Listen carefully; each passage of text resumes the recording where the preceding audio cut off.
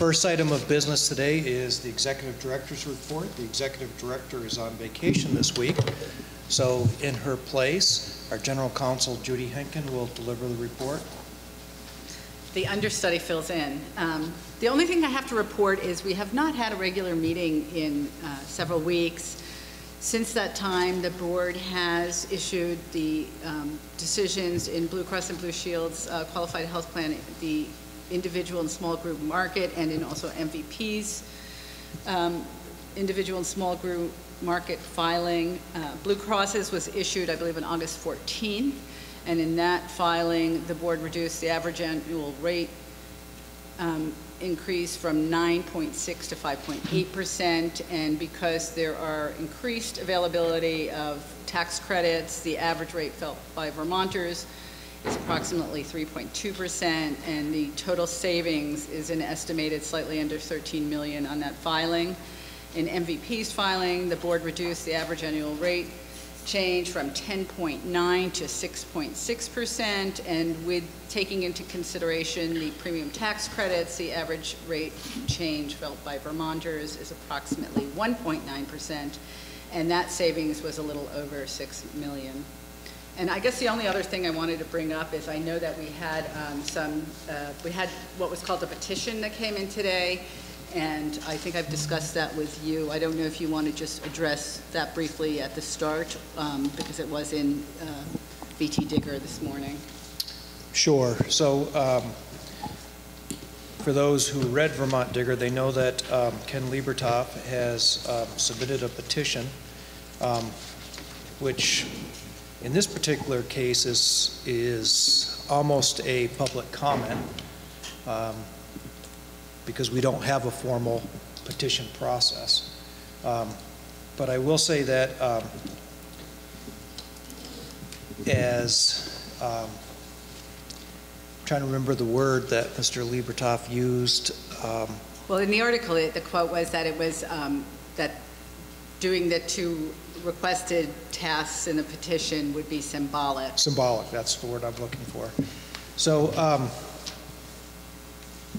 as much as that it would be symbolic, um, I'm just going to say that um, at this point, the board has never um, interfered in any type of contractual relationship that an institution has, um, either with an employee or an outside party.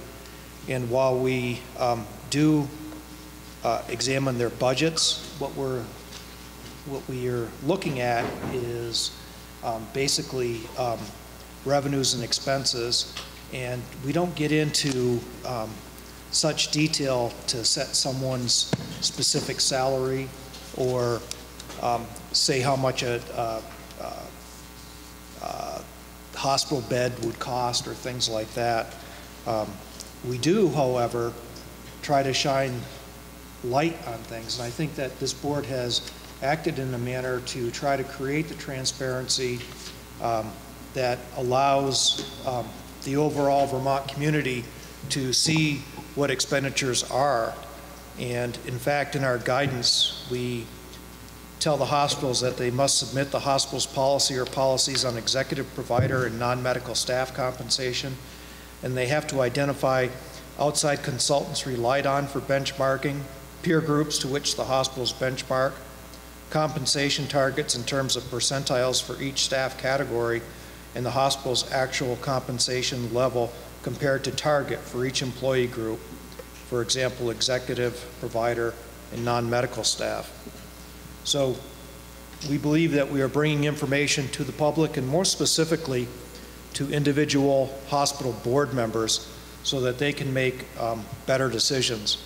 And I think it's through that transparency that comes to light when there is a deviation from what uh, a particular community will accept as far as compensation and not accept. So we feel that we're shining the light on it, and it's now up to individual um, board members at the hospitals to take it from there. With that, I'm sure that, knowing Ken, he will um, bring this up during public comment at the end of the meeting, and we look forward to hearing what you have to say on the matter. But um, that's where we're at right now, Ken. May I add something? Sure. Yeah, um, and just as the board's attorney, I will just add that we wouldn't be able to interfere in the contractual relationships between employees and the hospital anyway, so um, capping salaries wouldn't be something the board does. And also, in somewhat contrast to it being a symbolic um, move, the information requested in the guidance this year that the um, hospital budget team asked for and has received and is reviewing with the board, um, that information can be used to con- considered in decision-making, but it- it can't be used to specifically change salaries um, or do the type of line-by-line changes that it appears are requested. And um, it it is information for the board when they're looking at their overall um, charge to adjust expenses, costs, however, um, NPR, um, and as they go through the process. So I just wanted to add that. Okay, thank you. The next item on the agenda are the minutes of Wednesday, August 8th. Is there a motion? So moved. Second. It's been moved and seconded to approve the minutes of Wednesday, August 8th, without any additions, deletions, or corrections. Any discussion? Seeing none, all those in favor signify by saying aye. Aye. Any opposed? I would abstain because I was absent. Let the record note that Robin Lunge has abstained abstained because of her absence. Okay, at this point, we're going to turn it over to Pat Jones and the hospital budget team. Another set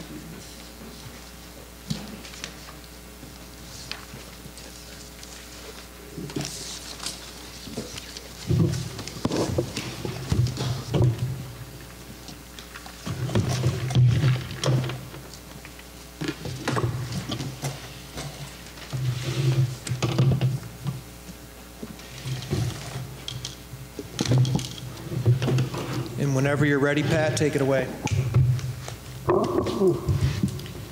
Thank you. Good afternoon. For the record, my name is Pat Jones. I'm the Health System Finances Director for the Green Mountain Care Board. I'm joined, joined here by Lori Perry and by Kelly Thoreau, um, very able members of the hospital budget team and Health System Finances team. Um, This um, basically kicks off the uh, decision-making phase of the hospital budget process. So today, um, what we want to do is, first of all, just do it right now, review the next steps in the process. Um, We um, today are looking for you to begin um, a hospital-by-hospital review and um, develop some preliminary decisions. And the reason I call them preliminary is because we are still in an open public comment period. That public comment period closes on September 10th. Um, The board has a deadline of making final decisions on the 14 hospitals' budgets by September 14th. Our statutory deadline is the 15th, that's a Saturday. And uh, similarly, um, written orders to the hospitals are required to be um, transmitted by September 30th. Again, a weekend, so in this case, we'll be looking at um, getting the orders out on September 28th. The next thing I'll do um, is just show a, um, a slide that um, outlines sort of a system-wide summary on some key metrics that you look at in your decision-making. And then um, we'll begin our hospital-specific recommendations from the staff and your review and discussion. Um, As I think everyone knows, this is my first year in this role. Um, When I looked back at the past couple of years, what I noticed was that um, staff came in first with um, recommendations on which hospitals' budgets should be approved as submitted or could be approved as submitted. Um, That seemed to make sense to me, so I decided to take the same approach here, which is really um, starting with those hospitals that um, may be um, less complex and where um, budgets might be approved close to as submitted or as submitted. And then Um, Probably that will take us through today with maybe a high-level overview of the remaining hospitals, but we're really thinking that next week will um, be the opportunity to take a deeper dive um, into those hospitals with um, a more complex budget picture. So assuming that that works for you all, that's the approach that we'll, um, that we'll take today. So um, this is the system um, summary. You've all seen variations of this document before. Um, It shows all of the hospitals.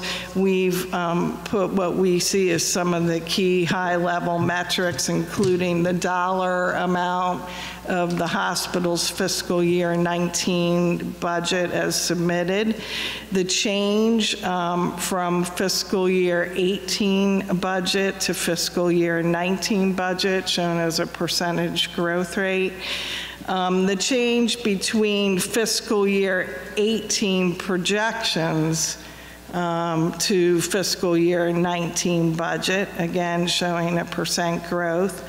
The percentage growth in rate submitted by the hospital, the operating margin, that's also a percentage, the total margin, and the days cash on hand.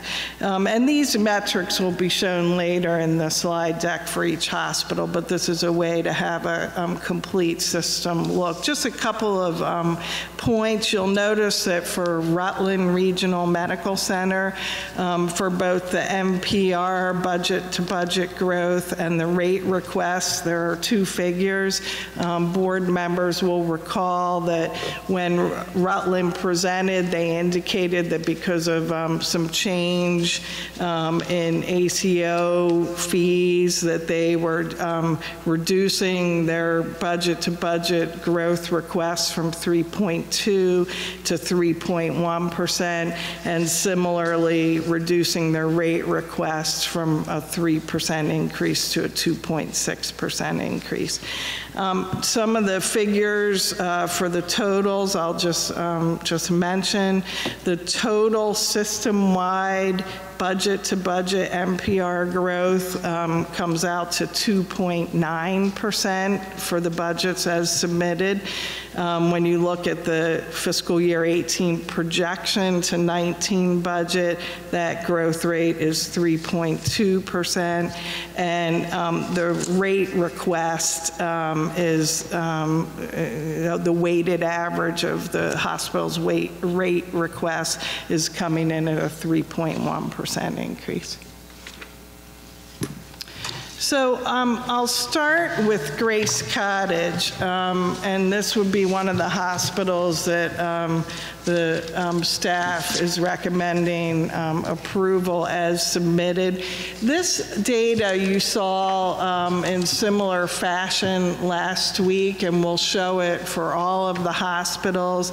It gives you their base budget, their fiscal year 19 proposed budget. One thing we added, um, because we thought it might be helpful for context, is the percentage of the system total in submitted 19 budget that is represented by this particular hospital. So you can see for Grace Cottage that that, um, that, that sort of system impact is 0.7%. Um, You know, we then have the NPR growth rate, what's happening in healthcare reform investments. In this case, Grace Cottage um, requested no dollars for healthcare reform investments. And then the um, fiscal year 19 rate request. And an important metric is what does 1% of rate increase represent in terms of dollars? So you saw this last year for, or last week for, um, it felt like last year, for um, all of the hospitals, and this is, um, this is just a recap of that. Um, In terms of hopefully aiding you in your decision-making, what we've done is um, put together a, a table, some financial indicators for each hospital, and then a table with uh, the staff recommendation on um, a variety of factors. In this case, there are only two, NPR growth rate and rate increase.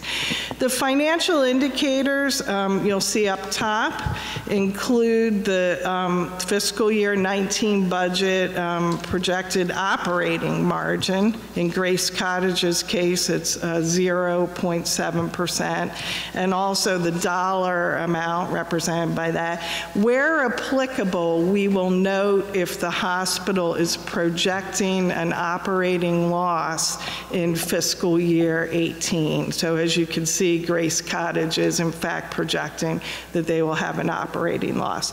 The board, um, I believe it was Board Member Usifer who suggested that we um, add total margin as well. So that metric is there um, for the fiscal year 19 budget. Uh, Days cash on hand, and then also um, the, the change in the fiscal year 18 projected to fiscal year 19 budget NPR growth. So you can see that for Grace Cottage, um, their uh, NPR growth rate, budget to budget, is 3.5%. Their projected to budget is actually 5.6%. And their um, commercial rate increase, um, and in fact, rate increase across all payers is, um, they requested 3.2%. Just a word about these two measures, which are the items that you um, make uh, decisions on. Um, Our hospital budget guidance does set a target for NPR um, growth. So for fiscal year 19, the target was 2.8% growth. And then hospitals that requested an allowance for healthcare reform investments were um, permitted um, potentially up to 0.4% additional for healthcare reform investments. So if a hospital used that entire allowance, their, um, the target for their NPR growth rate would be 3.2%. And then when we talk about the rate, um, that, the, the budget guidance doesn't include um, a target for rate increase. Um, and I just want to be clear about what we mean by rate increase. What it really means is the um, percent growth in charges um, for the hospital over the prior year. Um, and most of the hospitals, it's the same across all payers. It's not necessarily the same across all services. So you'll see in the budget narrative that a number of the hospitals have a 0%, their overall rate increase in this case, for example, might be 3.2%, um, but they have um, varying rates depending on the type of service. So often physician services are um, proposed for level in terms of the charges, whereas some of the other services might have a higher rate than the overall rate. So just a note about what rates are and aren't. It doesn't mean it's what the hospital's going to get. In fact, um, you know, are, the hospitals make assumptions about, um, about whether they'll get um, that for Medicaid and Medicare. Generally, they assume they won't. Um, um, But um, it, it is a a ballpark in terms of what will happen with their charges. So in the, in the case of Grace Cottage, um, we are recommending um, that you accept the NPR growth rate of 3.5%. Um, Part of the reason for that is that um, Grace Cottage is showing a near zero operating margin for fiscal year 19. Um, And they've also recently hired some providers, including primary care providers. And you'll remember that um, improving access to primary care is one of the goals of uh, Vermont's all payer model. And then we're also recommending um, that the commercial um, rate increase of 3.2% um, be um, also accepted. The, um, the Vermont Department of Health um, on their hospital report card website does have some information on charges. I again want to emphasize that it's charges, not prices. And Grace Cottage showed that charges, they, they don't have enough services to show charges charges for inpatient or outpatient care, um, but for physician services, their um, charges appear to be near or below the average from, uh, from the VDH website. The data is a couple years old, but just um, to give you a little context. So I'll stop there um, and see if the board wants to have any discussion on Grace Cottage. So um, before we get started, I just want to say that, um, again, these are staff recommendations. The board will have to deliberate, which we are about to commence, um, on those proposals. But I wanted to say that uh, the public comment period is open until September 10th. So even though um, it may appear that some decisions may be made today, those will be subject to um, either a ratifying uh, or some type of uh, more permanent vote um, next week. So that, um, I know that Jess wants to talk about um, tying it in, so maybe I'll refer to her for the minute and then come back to the rest of my comments. Okay, fantastic.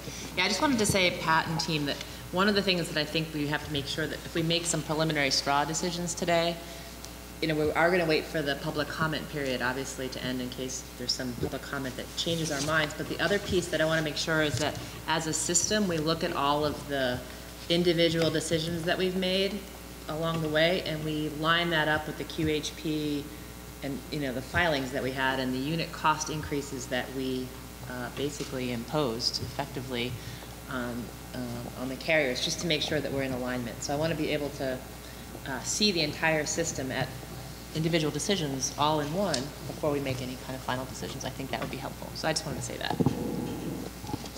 So the other thing I wanted to um, mention before we start, Pat, is that um, in order to try to expedite that decision, decision confirmation next week, if a member of your team could um, keep a list of all decisions made today, and I think it might be easier for the motion next week to be um, to ratify um, the tentative decisions um, except for, and then get into, it. now maybe there's so many exceptions that it doesn't make any sense next week, but let's try to use that framework to uh, save some time. So with that, I'll open it up to the board for discussion on uh, Grace Cottage. May may I just suggest that maybe today we have the discussion and just don't take the votes at all and run through them next week? If That would be, I'm just worried about the time. I'd prefer to try to get some tentative decisions in place. okay, I- yeah, I think we can see who's in agreement and what Yep. what issues remain, and and I was thinking maybe we could just run down the hospitals next week with the vote. Some will go very quickly. hopefully. Me too. So board members, Grace Cottage?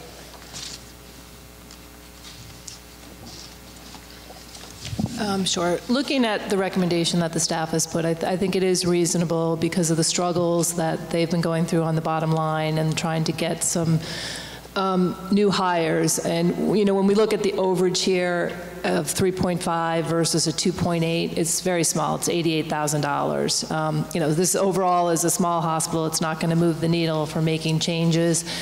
And, you know, I I do think um, your recommendations are reasonable.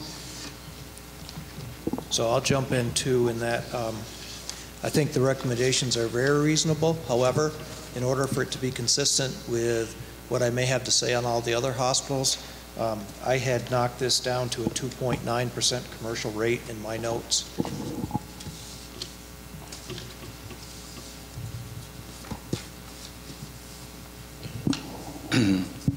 My sense is that uh, um, I could accept the staff recommendation on this one. Um, As I look at the spending side of their budget, uh, going back to 2015, their growth rate has been less than 3% on the expenditure side, Um, and it looks that they're trying to, uh, um, you know, restore some uh, bottom line issues having to do with total margin, uh, margin, and uh, I would support that. So um, um, There wasn't anything, any um, issue here uh, that I felt would uh, ne- necessitate any major change in recommendation.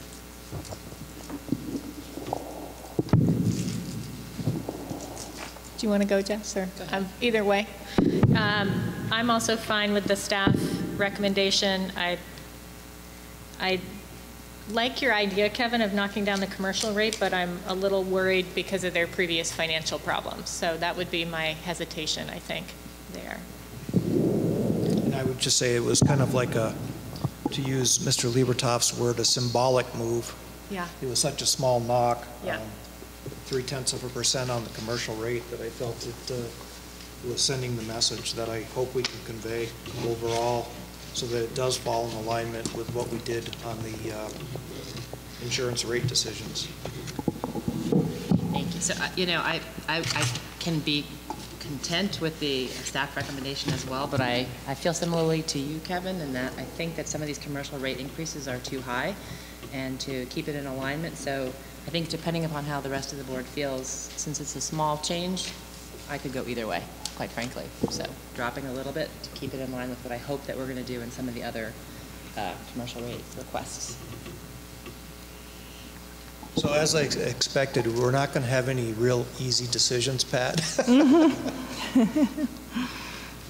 So was that clear as mud? I think so. Um, I think so. Okay. I think we have it, I, I mean, I took it as a tentative um, decision to um, go with the staff recommendations, but with some, um, a couple members wishing to see the rate lower. The commercial rate, Yeah, commercial rate. Okay. Shall we move on? yes.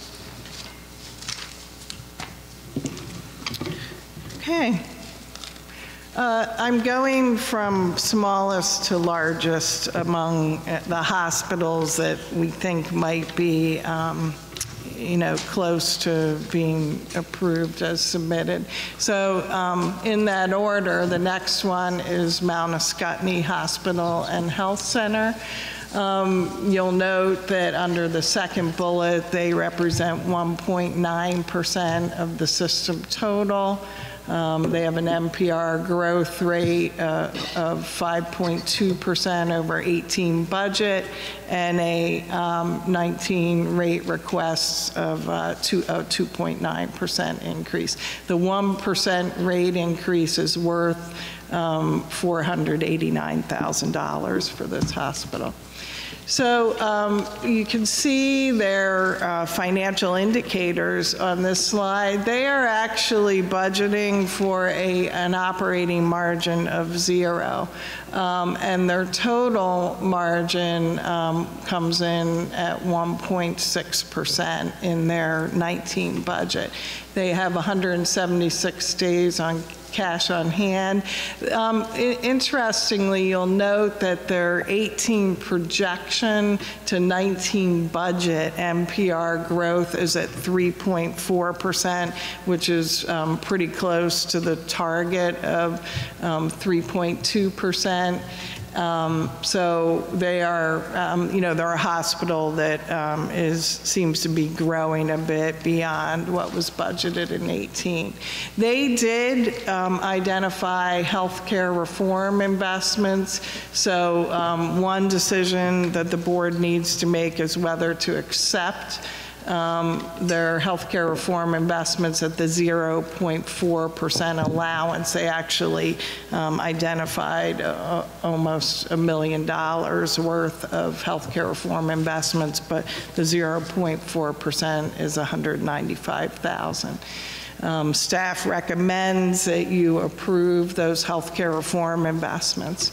The NPR growth rate at 5.2%, we recognize that that is higher than the, than the target that was outlined in the guidance.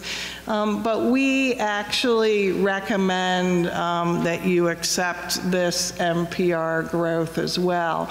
Um, Some of the rationale for that is that, as you can see, um, as I point out earlier, they're um, projected to budget, 18 projected to 19 budget is pretty close to um, the target. They have, you know, um, Mount Ascutney um, has a very specific um, set of services that they offer. Um, They aren't trying to do a ton of different services. They've really focused on rehab and primary care. And, um, and they also have quite a bit of out-of-state business as well. They're getting referrals, particularly from Dartmouth, and they're now um, affiliated with Dartmouth. So, um, so we actually are recommending acceptance, even though that exceeds um, the, the target, and we are also um, recommending acceptance of what is one of the lower um, commercial rate increases at 2.9%. So I'll start it off just by saying that um, I understand what the uh, staff's recommendation is. This one is another one that um, I disagree with, in that I didn't feel that we had sufficient data to see that the delta on the out-of-state business was what was driving the um, 5.2. If they could provide that to you before next week, I think I would be more sympathetic to that, uh, what I would consider a very large NPR growth rate. Um, And on the commercial rate here, I had it um, somewhere between 1.5 and 2 percent rather than 2.9. Uh, Maybe I'll jump in here. So one is I'm comfortable with the health reform investments. Uh, I'm I'm glad that they put that in. Uh, Seems like they're doing some great things there. The second piece I would say is I'm actually comfortable with the commercial rate increase. I feel more comfortable under 3% in general, so they're under there from my comfort level. The piece that I would say I agree with Kevin about is um, 5.2 is high. Uh, I, I believe that they had testified that about 30% of their business comes from out of state, if I remember correctly. So if there was a, you know, 30% of that NPR is still above our target. So if there was a, uh, if they could quantify how much of that growth is coming from out of state, and we could then make an adjustment perhaps for that, an allowance for that, but I still think if it is in fact 30%, this is an NPR that might be a little bit still too high. So, But I would just add on to that, it really should be the delta of the change in out of, out-of-state business. It shouldn't just be, if they had, if they had 25% of out-of-state business last year and it went up to 30, it should only really be that additional increase.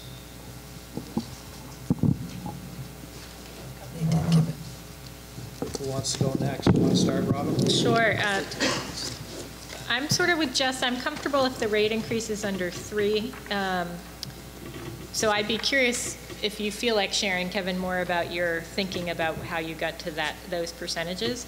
Um, Basically, it was trying to get the uh, NPR down to a number that I thought was more realistic, but still exceeded our guidance.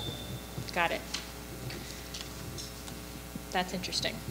Um, On, I, and I agree with both of you that the NPR is too high, and I'm also open to an adjustment based on out-of-state business. So I, I think I agree with where you guys are headed. Um, Although I would note that they are projecting a zero operating margin, so that's a little worrisome. I'm uh, looking at the long-term trends uh, for Mount Ascutney, and their NPR trend since 2015 has been 4%, which uh, is, uh, seems reasonable, Um, and their spending trend has been 3.8%. Um, It looks like they are uh, trying to recover some total margin, um, and I think that that that would be helpful. Um, One thing I worry about is looking at comparing their 2019 budget proposal to their 2018 uh, projection to where they are now, and then looking at the revenue, the payer mix uh, that comprises um, them hitting uh, their target. And of the, the, the total target uh, in terms of the delta between 2018 projection and 2019 is 1.7 million and they're looking at only 314,000 of that coming from commercial payers and uh, 2.3 million coming from Medicaid payers and over 4 million uh, coming from, uh, um, uh, well, I- I'm sorry, it's a negative 2.3 million from Medicaid and a positive 4 million from Medicare. And then they're losing uh, $383,000 in DISH. So I I worry that this uh, payer mix um, might not get them to where they want to go, but uh, that is their decision. The other thing that um, I think might be helpful to them is that if they uh, engage Dartmouth Hitchcock in negotiating uh, with the with uh, the commercial payers, uh, that was one thing that came out in the hearings that uh, they're still as a, as a small hospital on their own, but they are aligning themselves with Dartmouth Hitchcock, and it might help if.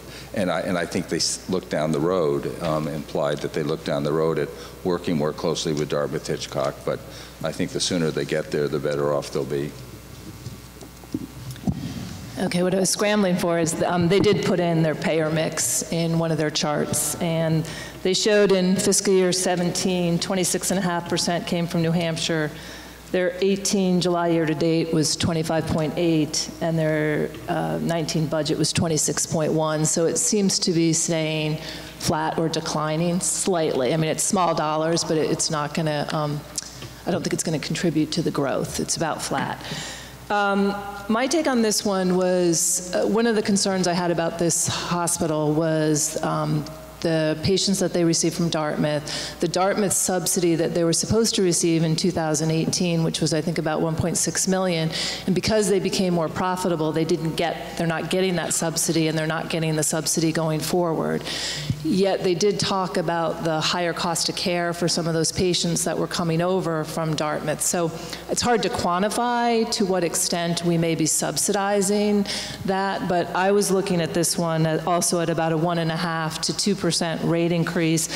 And that would then bring their NPR growth down to, you know, 3.9 to 4.3. Um, and again, part, I think we need to put that, really understand where that goes into the mix, and I don't think we completely um, have that wrapped up. So I, I would also be where Kevin was on reducing the commercial rate increase. Um, Also, just because I don't want to sound like a broken record, um, I'm just going to go through kind of some of my thinkings overall on all the hospitals. Um, So first, I want to acknowledge the hard work all the hospitals have put into their budgets. The challenges are significant, with hospitals facing declining utilization, operating losses, and unfavorable payer mix shifts. Also, a flat to declining and aging population that present more, more complex care needs, opioid and mental health issues, uncertainty in federal programs like 340B, and the risk assumed with, with movement into a fixed prospective payment or an ACO also factors in. Vermont needs to prepare for these trends and uncertainties to continue. Hospitals need to make strategic decisions on what services are right for their demands. We need to make sure hospitals are financially viable and find ways to become more efficient and reduce waste across the system. I really like the mindset of one hospital, which was the challenge to match payment for the lower payers, Medicaid and Medicare, to be equal or higher than the costs incurred, um, which would move us towards reimbursement by payer, including commercials, aligning.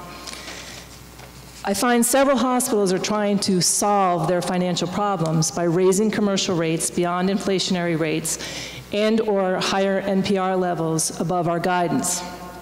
All hospitals spoke to cost savings through supply chain and opportunistic staffing costs as ways they are filling the gap. But these programs need to be more robust to push more cost reductions. We need to do a lot more here. Where higher education or corporations face these challenges, they forego raises or they are selective and only increase hourly or lower salaried employees. Benefit plans are shared more by employees um, and what the business pays less. They set strategic plans for the future, and service lines are eliminated or added based on demand. The reason I'm talking about all this is because the specifics of these reductions or, or changes need to be led by the hospitals. I don't think we can dictate what gets done at a specific salary level. But the pushbacks that I know I'm going to be pushing on rates and NPR growth rates on hospitals, with specifically with declining utilization, they need to find additional ways of of a path forward and strategies. This may mean they're going to incur losses early and they're going to have to utilize existing cash until they can right-size their services and staff with the population needs. You know, I just feel like a lot of the hospitals are trying to solve their problems by putting in excessive rate increases, and we're sitting here saying, well, they're having operating losses. Well, that's true. but they need to change their expense levels. And I've been preaching this for a long time, and, you know, I think for, since last year going through this, and I think that's one of the things I'm going to push back on, on all these hospitals. Some of the hospitals that have higher increases for 2018, like a hospital like this, they're coming in strong for 2018 over guidance. They should be giving some of that back as well in, in rate reductions. So I just wanted to put that out there because that's where I'm going to be coming from when I push back. I understand a lot of these hospitals are struggling financially, but that's not going to change unless they change the service mix or become more efficient or reduce waste. It can't be fixed by just continuing to increase rates year after year or in many cases, we're going to see hospitals asking for what I see as unrealistic NPR growths when you look at their year over year. They're declining this year, and then they're asking for 6%, you know, over the prior year. So I just kind of wanted to lay that out there, because on most of these hospitals, I will be pushing back, you know, on their rate increases.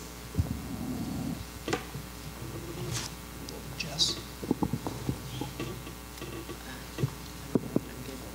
Did you speak about that, Scott? I did. Okay. So I guess everyone has them, right? So I'm not sure if you have any clue where we're at on that, Matt, but Can I make a suggestion? I would say, what about running this one with the lower rate increase, which, and the, and the accordingly lower NPR as, and for next week, and then we can see how that impacts system-wide. I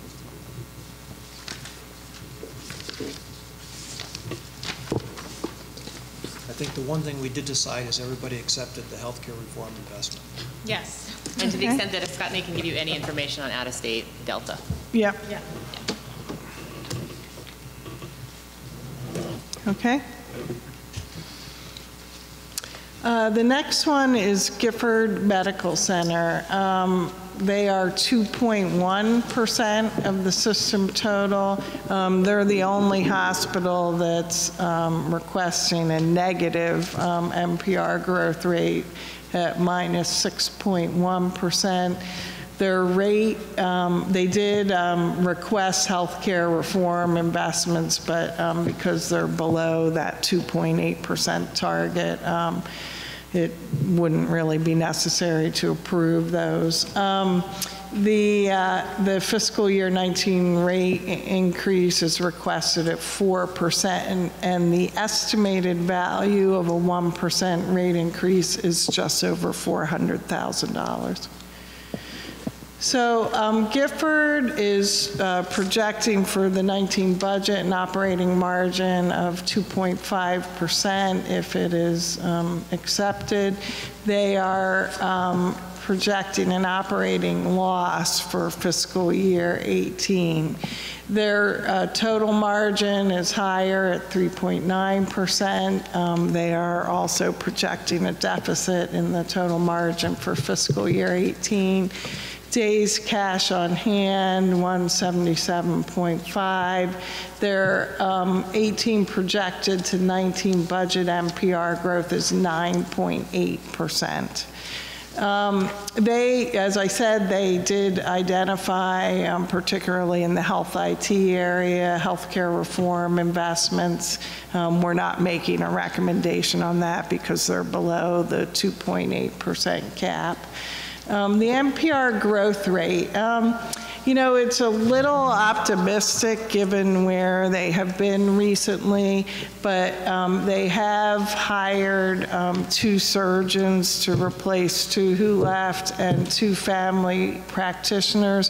They also had an EMR implementation, and so productivity was down while that implementation was occurring, and they're anticipating a um, productivity increase. And they are also um, expecting a slight um, favorable um, payer shift from Medicaid, Medicare to commercial, which um, would bring their revenues up a bit. So the staff is recommending um, accepting the, the minus 6.1 NPR. In terms of their rate increase, um,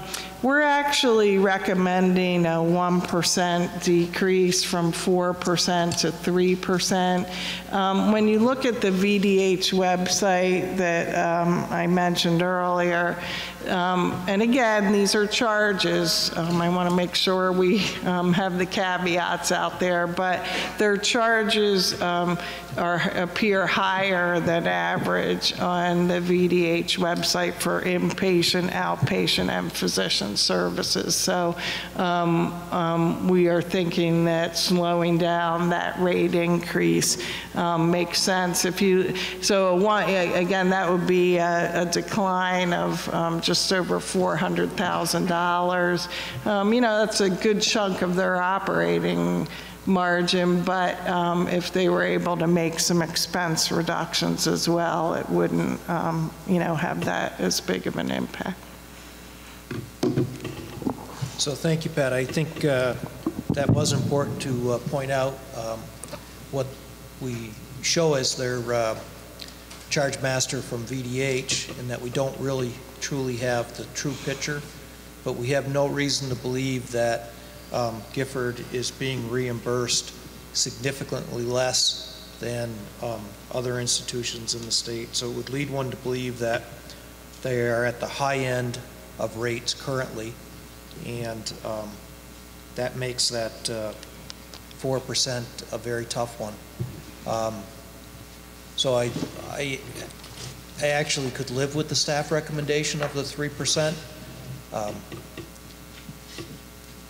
My gut would have me go lower, and, and so would my brain, except that, um, again, we're dealing with an institution that I think uh, has to make significant changes in order to uh, have a good long-term mission. So with that, who else wants to jump in? I'll jump in a little bit on the, on the pr- pricing. Um, So I actually did look back at that VDH website, and some of, this is where the 4% is, is too high for me. Um, Not only is there, are there pricing, and I understand gross charges, it's not what the actual, you know, price might be, but I'm just going to give some examples for the other board members who may not have looked into this. Hip and knee replacement at the state average is 43,000. Gifford charges 62,000 gross charge. A C-section state average is 16,000. Gifford charges 26,000. A broken wrist at 14,000. Gifford's gross charge is 31,000. Hysterectomy 21,000. Gifford's gross charge is 46,000. So for me, some of these very identifiable, common, frequent procedures are well, well, well above the state average. So a 4% commercial rate ask is, seems really high and troubling to me. Um, Also, when you look at their total cost of care from the blueprint, they're already an outlier in uh, expenditures in total cost of care, so on the high side. So for me, I really feel strongly that we need to lower that commercial rate ask, because I can't justify increasing these rates even higher on charges that are already outliers um, up there. So, and, you know, their days cash on hand are above the state average.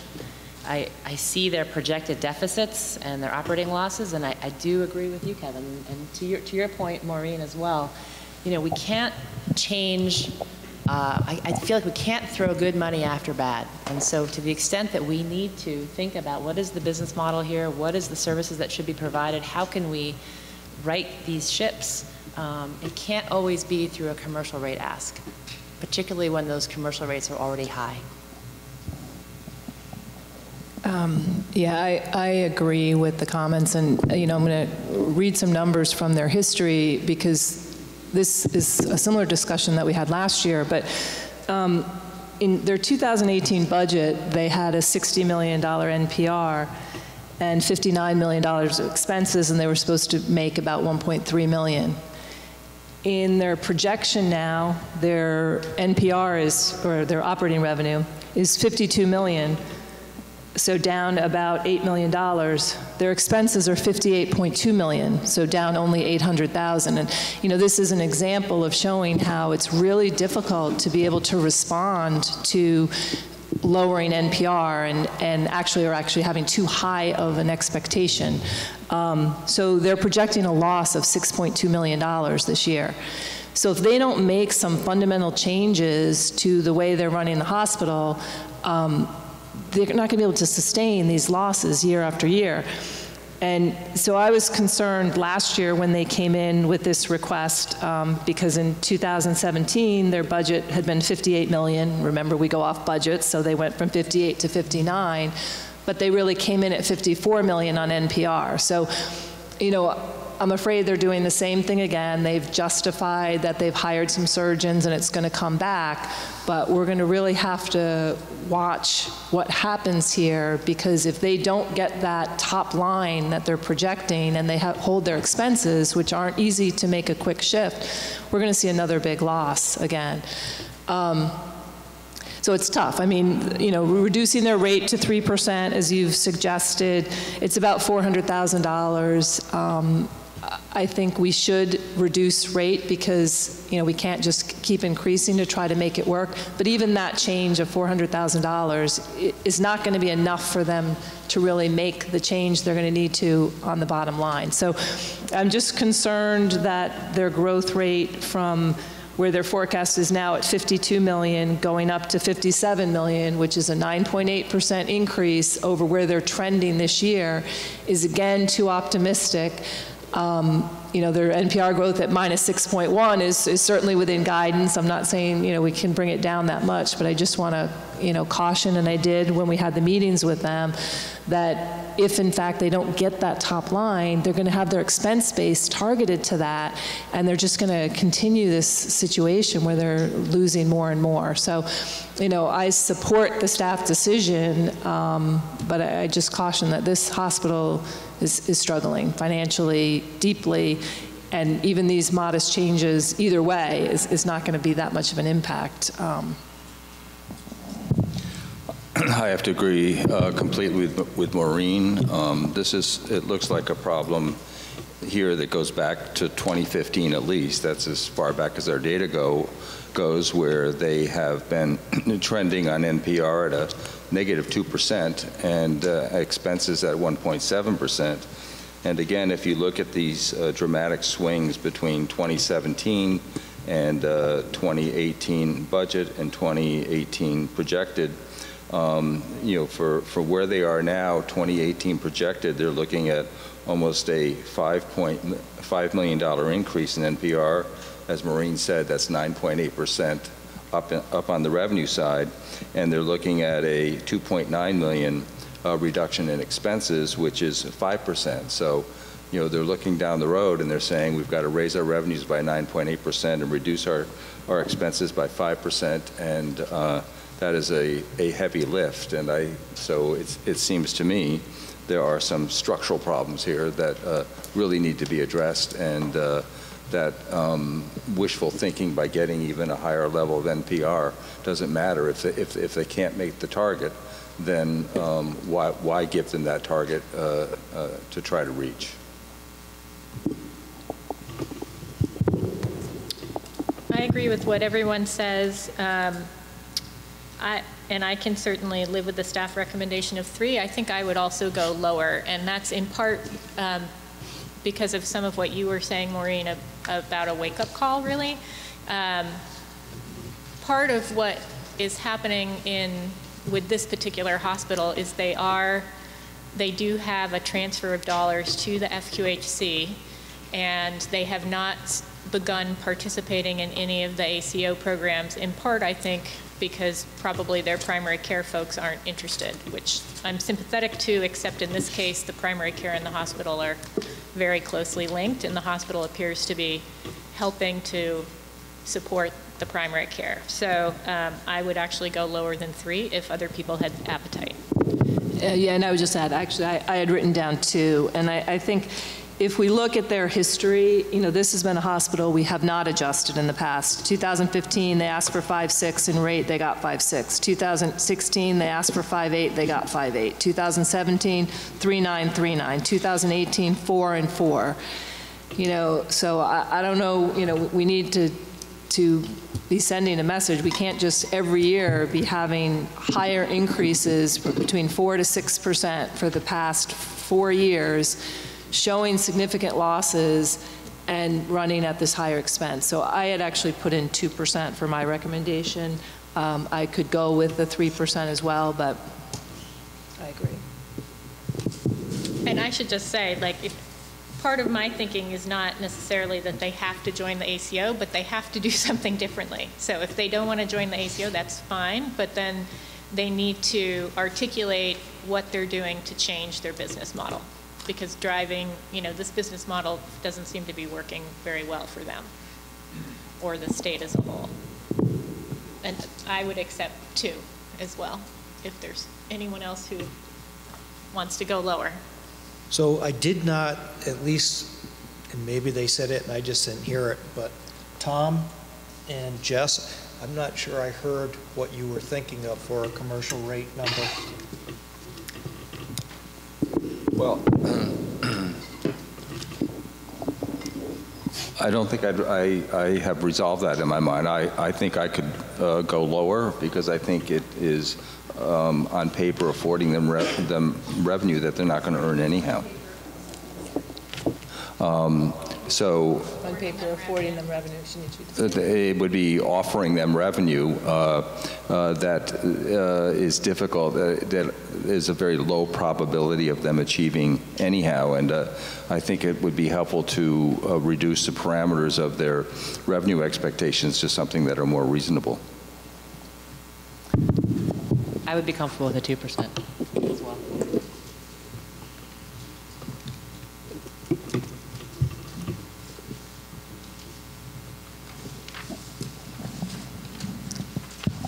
So I, I think I heard three members say two. Pat? Yep. Nobody seemed to uh, object to the NPR, although I think everyone was skeptical that even the minus 6.1 would be reached. Um, And it's safe, Changing the rate will change the NPR. yeah, that's why I went Changes it modestly, yeah. Back to the prior slide. Each 1% decrease in the rate um, is, you know, projected to have a- an impact of uh, just over 400,000. So um, assuming that that holds, it would in fact impact their NPR. These decisions are obviously interrelated. Okay. Okay. Uh, North Country Hospital is the next one. Um, They um, are proposing a fiscal year 19 budget of um, almost 82 million. They represent 3.2% of the system total.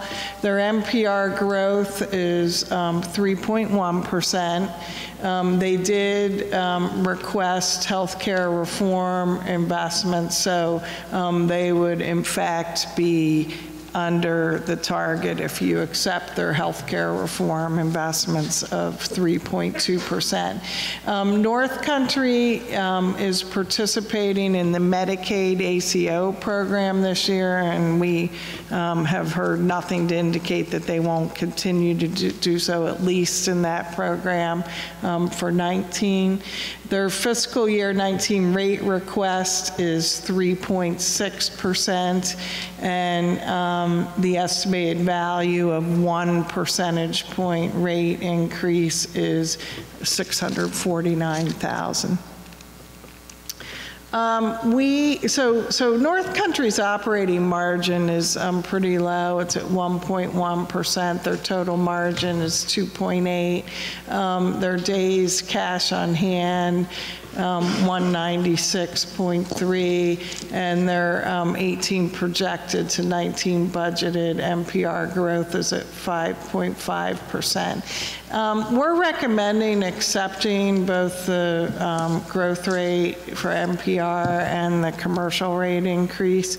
Um, They, uh, you know, the, the- some of the rationale for that is that they really are a hospital that has um, challenging social determinants, demographics, payer mix, and so forth. And they're, um, you know, they're, they're pretty isolated up there in the Northeast Kingdom in terms of other hospitals being nearby. They have also um, re- just recently hired two surgeons to replace two who had left. Um, And they have a, um, you know, a pretty low operating margin. Oh, and in terms of the healthcare reform investments, you all had um, made a preliminary decision last week to accept up to 0.3% of their healthcare reform investments, um, since they have a a NPR growth rate that is under the 3.2% target. If you assume a 2.8% base plus the 0.3, that gets you to the 3.1.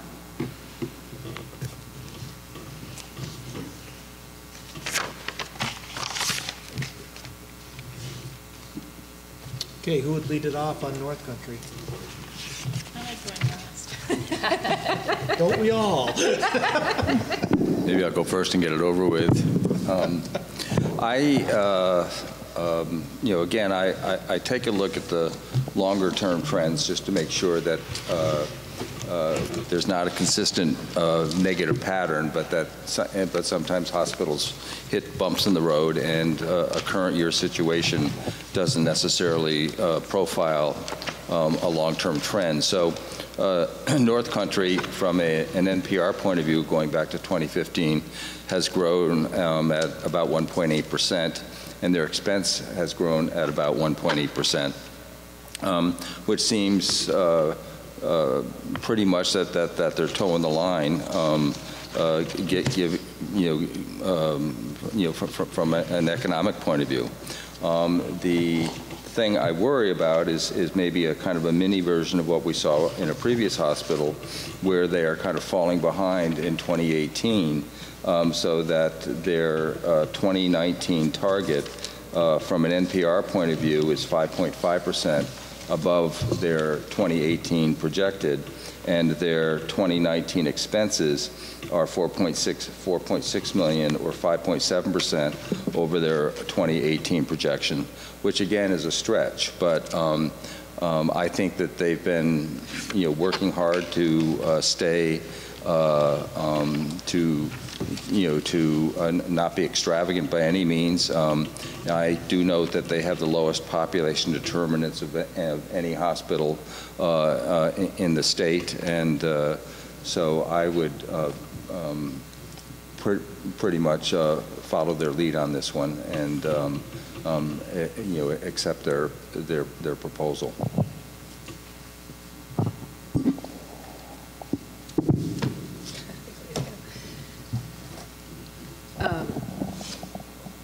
I, I would just propose um, maybe a slight reduction in their rate increase. Um, This is another hospital that has had a history of pretty high rate increases, um, which we have not changed in the past. So in 2015, they had an 8.3, and they received 8.3, 16 a 4.8, 17 a 3.5, 18 a 5. Um, So this 3.6 is, is below the trend that they've typically asked for, so I appreciate that.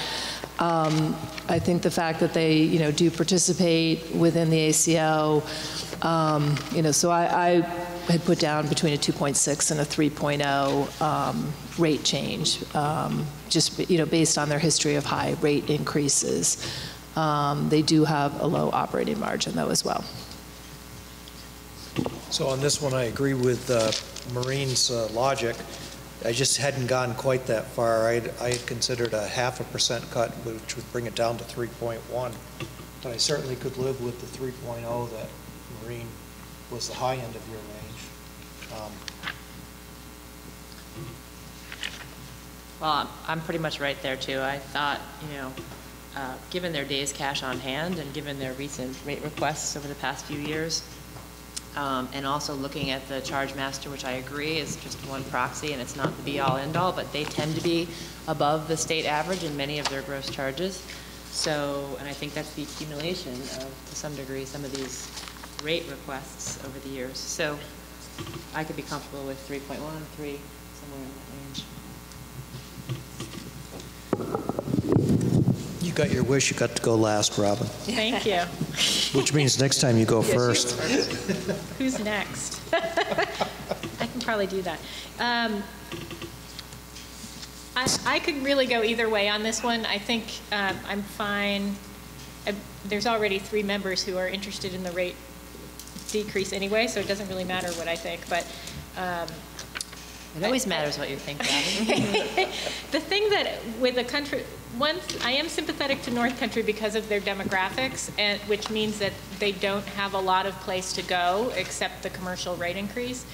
Uh, I'm also sympathetic to them because they are, they did indicate they're moving to participate in all three ACO programs, and they talked about some of the ways they're looking to do some operational changes.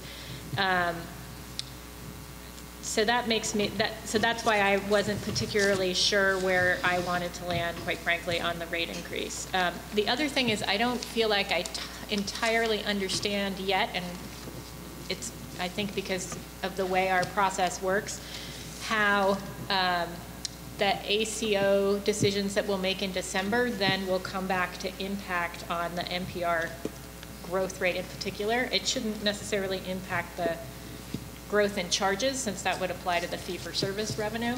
But um, I think that's an area that I don't think we'll understand this year, but for next year will be a bigger issue as we grow and scale. So that was a long way of saying, I'm sort of on the fence with North Country, but I can go with the flow. Tom? Just want to add, I, I fully agree with Maureen that their history of rate increases um, is high. It's uh, um, a- on average a four- 5.4% rate increase. Um, But um, I note that their actual trend in NPR is 1.8% over that same period. And what I worry about with North Country is that they have a, they're heavily dependent on Medicaid.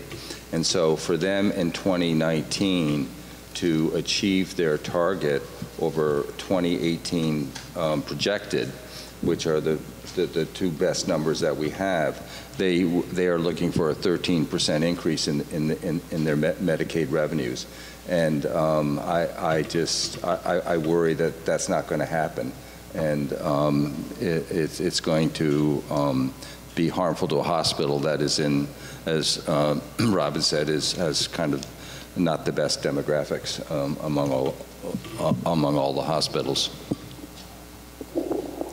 Yeah, would just also point out that, you know, on their expenses, they've been holding their expenses around 84 million. From 16, it was 83.8, 17, it was 84.2, 18 budget was 84.3. They're actually saying their 18 projection is going to be 82, so that, that's all really solid. Their 19 budget, they're going up to 86.6, and part of that was they're investing, uh, I think, about $2 million, 1.9 million in Athena, in a um, information systems program, but they need to find cost offsets in order to do some of that. So, I mean, I think they have a really significant jump in expenses year over year as well, and that's, you know, being offset some by this increase. So I guess, you know, we can debate whether we should uh, reduce them or not, but, um, you know, it's not significant reduction, I think, what we're talking about, to go to a three um, but does start to send a message that they need to be addressing the whole mix of their P and L. So it sounds like the board is narrowly headed towards a 3% commercial rate. Subject to change, obviously. Yeah, I just wanted to point out in terms of the expenses, and I'm going to look to my friends to the left and right here. Um, I think this may be one of the hospitals that was um, changing from um, a- an EMR system not cloud-based to cloud-based, and that does change their expense picture. I'm not sure if that factors in or not, but um, I just wanted to point that out. It does. It was about $2 million, and before it would have been in, um, we should be seeing an offsetting depreciation reduction, which we're not seeing significantly from if it was a capitalized cost before. Yep, thank you.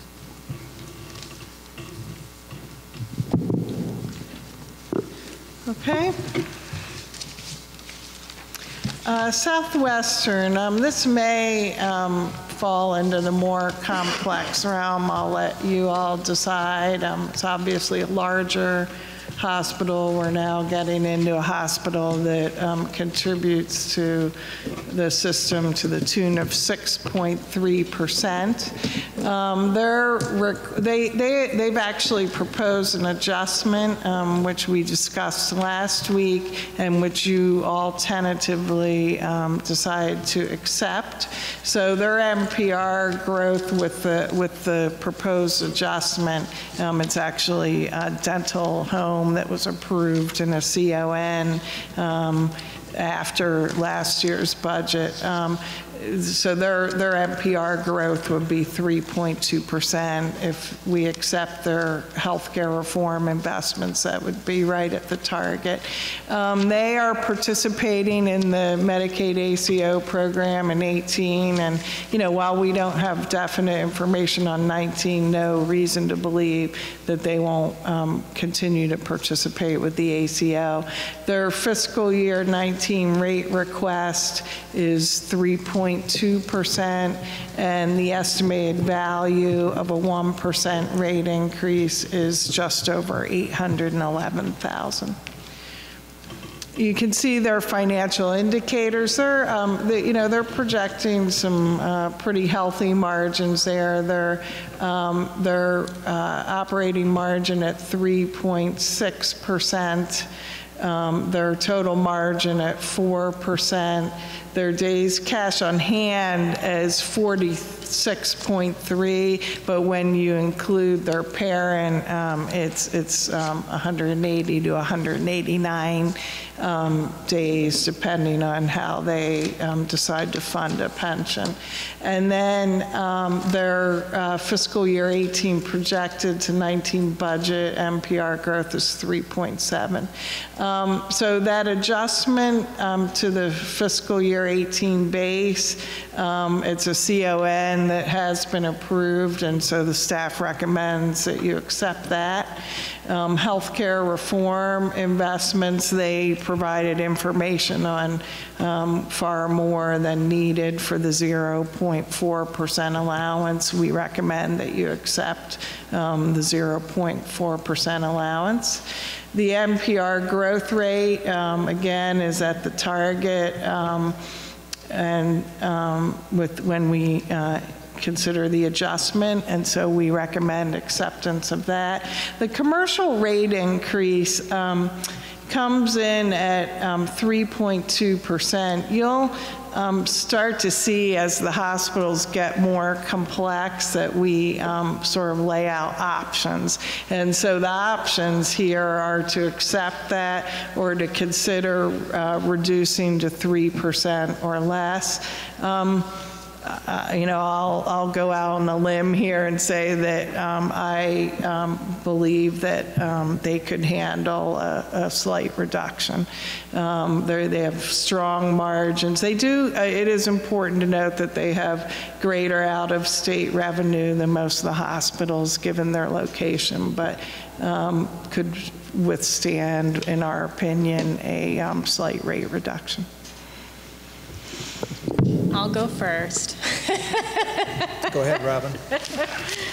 Um, I, as Pat said, I think to me, so I, I think we discussed this last time, but I actually could be wrong, but I had asked the question about the CON and the condition in the CON, and staff did go back and look at that, and we did approve uh, the dental home with the understanding that it would increase NPR. So to me, that's kind of just being consistent with what we've already decided and less of a real decision. Um, On the healthcare reform investments, I would accept the point four, but I would explicitly say that we don't accept the million in what I would call kind of IT prep uh, to be able to move to different um, EMR.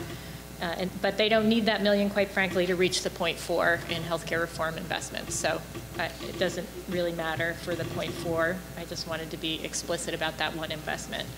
Um, And on the commercial rate, I would go with the reduction. um, And I, I don't have a number in mind, so I would be interested in what other people are, are, have in mind, but I'm certainly fine with the three.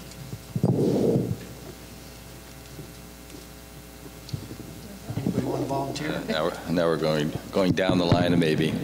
Um, I, I- could support a, a modest uh, rate reduction as well, as Robin indicated. Um, uh, Southwest has uh, had a pretty steady trend over the last four or five years of 3.5% increase uh, in NPR and uh, 5.4% uh, uh, uh, increase a year in, in expenses. Um, They have uh, a pretty good bottom line. They're anticipating a 4% uh, t- a total margin.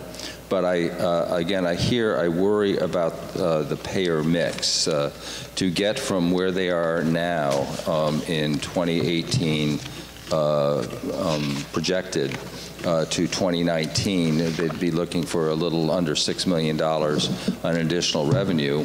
And as you look at their um, allocations of that to commercial, Medicaid, and Medicare, um, 76% of it is coming from commercial, um, uh, 23% from Medicaid, and only one half of 1% uh, from Medicare.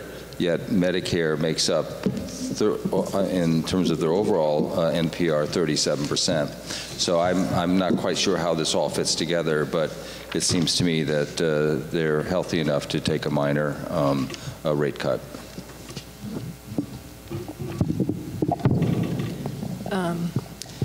First, I think this is, their P and L is strong, and they seem to be um, well-managed. Each year, they're making about 6 million um, in their operating income.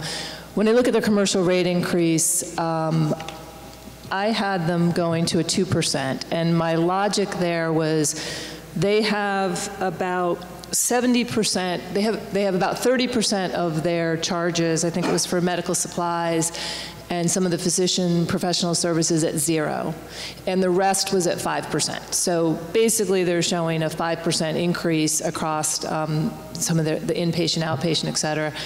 If I knock that down to 3% on those, that would bring their commercial rate increase overall down to 2. So I blended them to a 2, I put them down to a 2%, and that would assume, again, that they got 3% on most of their services, and the ones that they were holding at zero still hold at zero, um, because I just felt the 5% um, is really what they're reflecting across 70% of their line. I'm okay with their NPR and with the rest of their p and L. They also have seen some increase um, year over year in expenses um, because they are putting in a million dollars of that prep cost for um, potentially going to Epic. And you know, one, the, the savings we would get potentially on the um, commercial rate increase if we went down, I think is about 800,000. It was about 400,000 per point, so there's 800,000 there. I'm not saying that's why, but in, in a way, you know, we're commercial payers, you could look at it as a trade-off or paying for that, um, that specific line item. So I think they do a good job managing their p and L. They're going to need to get some additional cost savings if they want to stay at the profit, um, and I would recommend a 2%.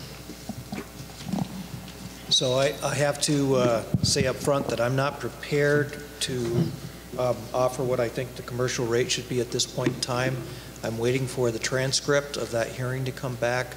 There were a few statements that um, I felt didn't reconcile with information that uh, I had, and I just want to reconcile that. Um, This is a, a very well-run hospital. I've been very impressed with everything they've done down there, but um, I'm not prepared at this point to accept the uh, 3.2% commercial rate increase, and if I'm not willing to accept that, then it probably would lower the NPR, but um, I, I just need to do some further research on my end before I'm prepared to even discuss Southwestern. Double mic'd here. Sorry. No, that's okay. Double mic'd. Um, no, I, I don't have an exact number, but I would, I, um, I agree with some of my colleagues here, and I think this hospital could afford a shaving of that commercial rate increase. I don't have the exact number, but somewhere between 2 and 3% makes sense to me. So I'll give it more thought. So as I was afraid of, we're not making as good of decision-making progress as we had hoped, but let's keep going, Pat. Yeah, no, I think it's going okay. Um, uh, eh, But I, I believe um, there is a tentative decision to accept their um, adjustment, accept their healthcare reform investment, and accept the NPR. Except the NPR would be adjusted by That's right. a yeah. rate change, so. Yeah, yeah, that's right, yeah. Okay? I Uh, think, um, just, just on that point, um, we may need to discuss with some of the hospitals whether or not, you know, truly, yes, if you just reduce rate, that's going to go to NPR growth. Some of these hospitals may have been, you know, capping themselves to the 3.2 if they're not going to get the rate, you know, uh, they're not that precise in all cases with, um, with forecasting. You know, we see most of the hospitals don't come in right on the number. They're, they tend to, to sway 1 or 2%. So um, I would be open for some of the hospitals that are under the cap, if we take their commercial rate down, that they may still stay at the 3.2. I, I wouldn't always say it's going to go down. And, and it's more just because of the precision. Yeah, if one for one, if I take it out, it's, it's 800,000 and it drops to the bottom line. But they're not as precise in forecasting. Budgets are obsolete the day they're done, right? So things change. So I, I wouldn't necessarily hamstring them with that. That's just my point of view on that. You know, if they're under the 3.2, we take a commercial. If the hospital resubmit, you know, takes that commercial rate and still ends up at 3.2, you know, I, I think that sh- could be acceptable. Point well taken, Maureen. Can I just jump in on that point? I- To me, it would, the determining factor on that for me is whether they're participating in the ACO, because we know if they're participating in the ACO, they're taking a fixed payment, and that will have an impact on NPR growth, obviously. Um, But it also means that they have a disincentive to drive volume, whereas if they're 100% fee-for-service, then keep, then keeping the NPR growth just gives them the incentive to drive volume. So I don't know how that plays out, but I just wanted to say that out loud. And the only other thing I might add to that point is that um, when it comes time to look at their actuals, um, their 19 actuals, um, as you recall, we have the trigger for when hospitals are above or below by a certain amount. And, um, you know, just keep in mind that if they come in low, um, say they keep the same NPR, but then come in low, um, getting information on how much of that is related to the rate decrease would, I should think, be helpful to you all, so. Okay. Uh, The next hospital is um, Rutland Regional Medical Center. Um, They represent 9.9% of the system total. They're coming in with a proposed budget of about uh, 259 million. Uh, Their NPR growth rate was in their um, submission um, 3.2%. You probably recall that when they provided their presentation, and I mentioned this um, at the beginning, they um, revised that to a 3.1% NPR growth. And um, they are requesting um, the 0.4% in uh, health reform investments. They're not participating in ACO programs in 18, but all indications are that they plan to participate in the Medicaid um, program in 19. Um, Their fiscal year 19 rate request was um, 3.0% with an estimated value of a 1% increase of $830,000. They have revised that request as well to downward to 2.6%. Um, The staff, uh, you know, they're, they- they- they're pretty healthy looking, um, a 2.3% operating margin in their submitted 19 budget. Their total margin, 4.4% days cash on hand, one of the stronger ones in the system at 205.7 days. And um, their 18 projected to 19 budget NPR growth is um, pretty low at 2.1%. Um, We are recommending um, accepting their healthcare reform investments, accepting their NPR growth rate, which if the investments are accepted is below um, the target that was in the guidance, and accepting their commercial rate increase um, of 2.6%. So to change it up, Jess, I'm going to ask you to go first. Okay, that's fine. Uh, I'm actually happy with the staff recommendations. I thought that they did an excellent job with their presentation. I thought their reform investments were uh, right on the money, and I, you know, I appreciate that they're well under our guidance and under the, th- under 3% for the commercial rate ask, so.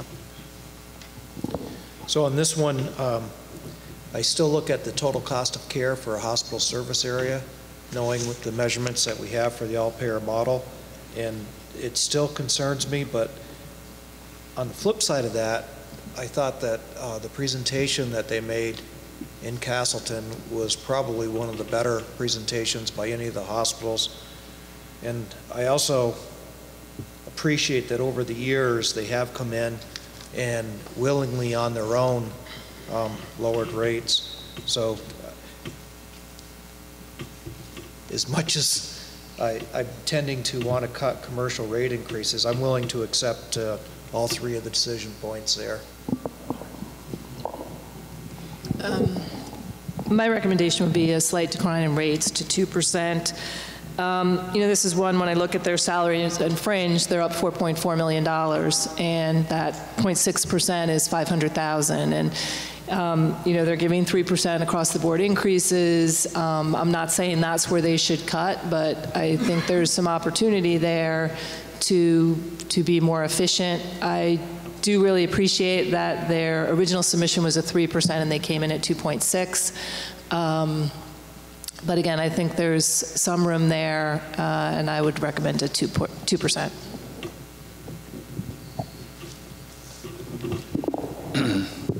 I could uh, support a a rate reduction here. Um, Again, I haven't gone uh, into the weeds enough to figure out what specifically that recommendation would be.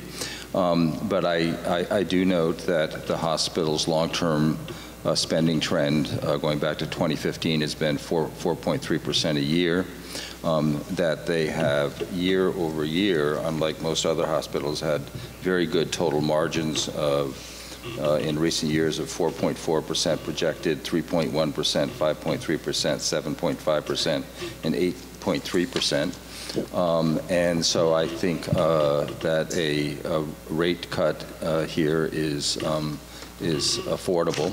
Um, One thing I do worry about, again, is looking at their 2018 projected budgets versus their 2019 projected budgets in terms of where their NPR comes from. And uh, that delta is a total of 5.3 million, um, and they're looking for six point, uh, a 6.9 million dollar uh, increase in commercial, offset to a degree by um, a $1 million reduction in Medicaid uh, uh, receipts and a- another $900,000 uh, negative in dish receipts. So I- I worry again about their payer mix, um, but uh, um, they're closer to the ground than I am, and if they think this is, you know, the the uh, appropriate distribution, I I have no reason to argue with them. But overall, I I would uh, support a- a rate cut here.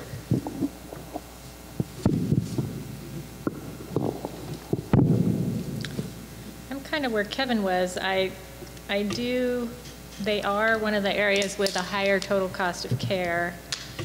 I, but I also very much appreciate that they uh, have historically come in and offered rate cuts proactively, which is really what we would want them to do, which makes me inclined to be lenient for whatever reason. But, um, so I guess I'm a, I'm a little bit on the fence on the rate cut, but, uh, so I- I'm, a- I don't know yet. So Pat, what I think I heard is that uh, we're accepting the healthcare reform investments, we're accepting the uh, NPR, and we have a split board on the commercial rate. Yeah, and can I, I just want to point out the trend, and I know there's one year that's not on here where they did put further reductions, but in 15, they got an 8.4% increase, which was their ask, 16, 3.7, 17 minus 5.1, and that's because they had a pretty significant overage the year before, and I think they did a second uh, they may have done another reduction that year. Uh, Last year, they got a 4.9. So, you know, last year, they were on the um, higher end, so I just wanted to point that out.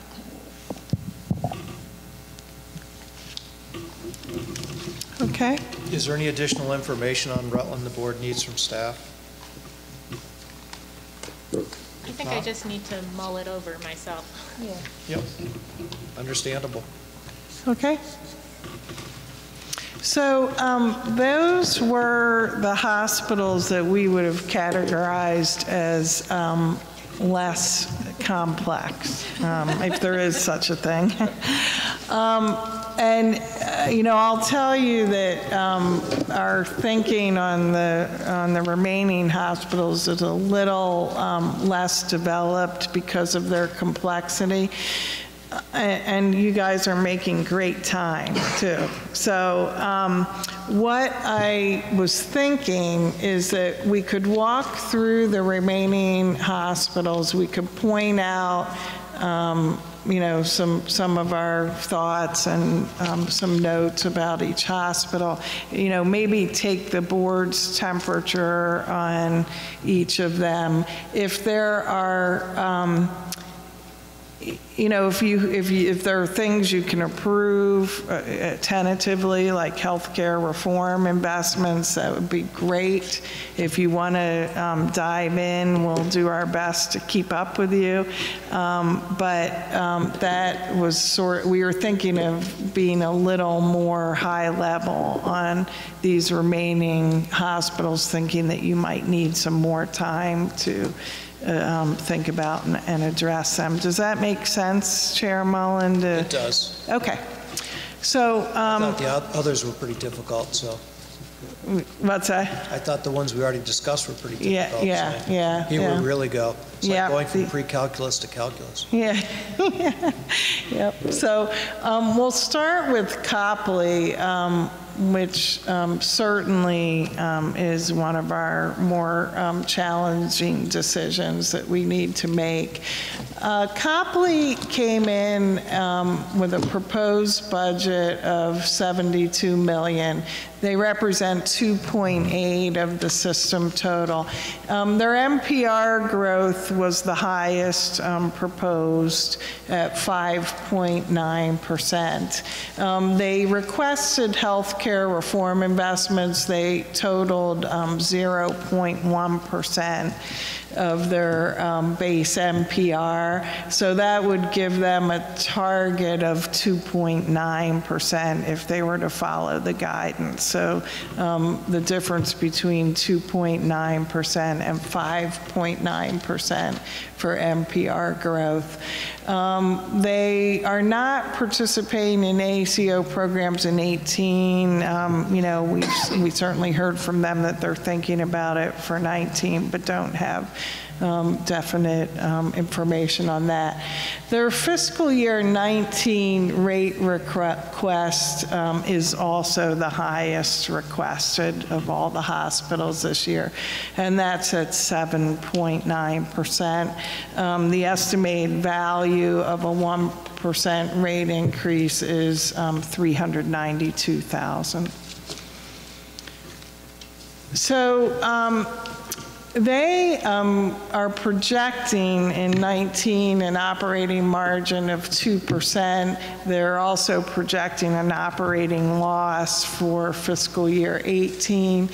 Um, In their 19 budget, the total margin is 2.5%, and again, they're projecting a deficit in fiscal year 18.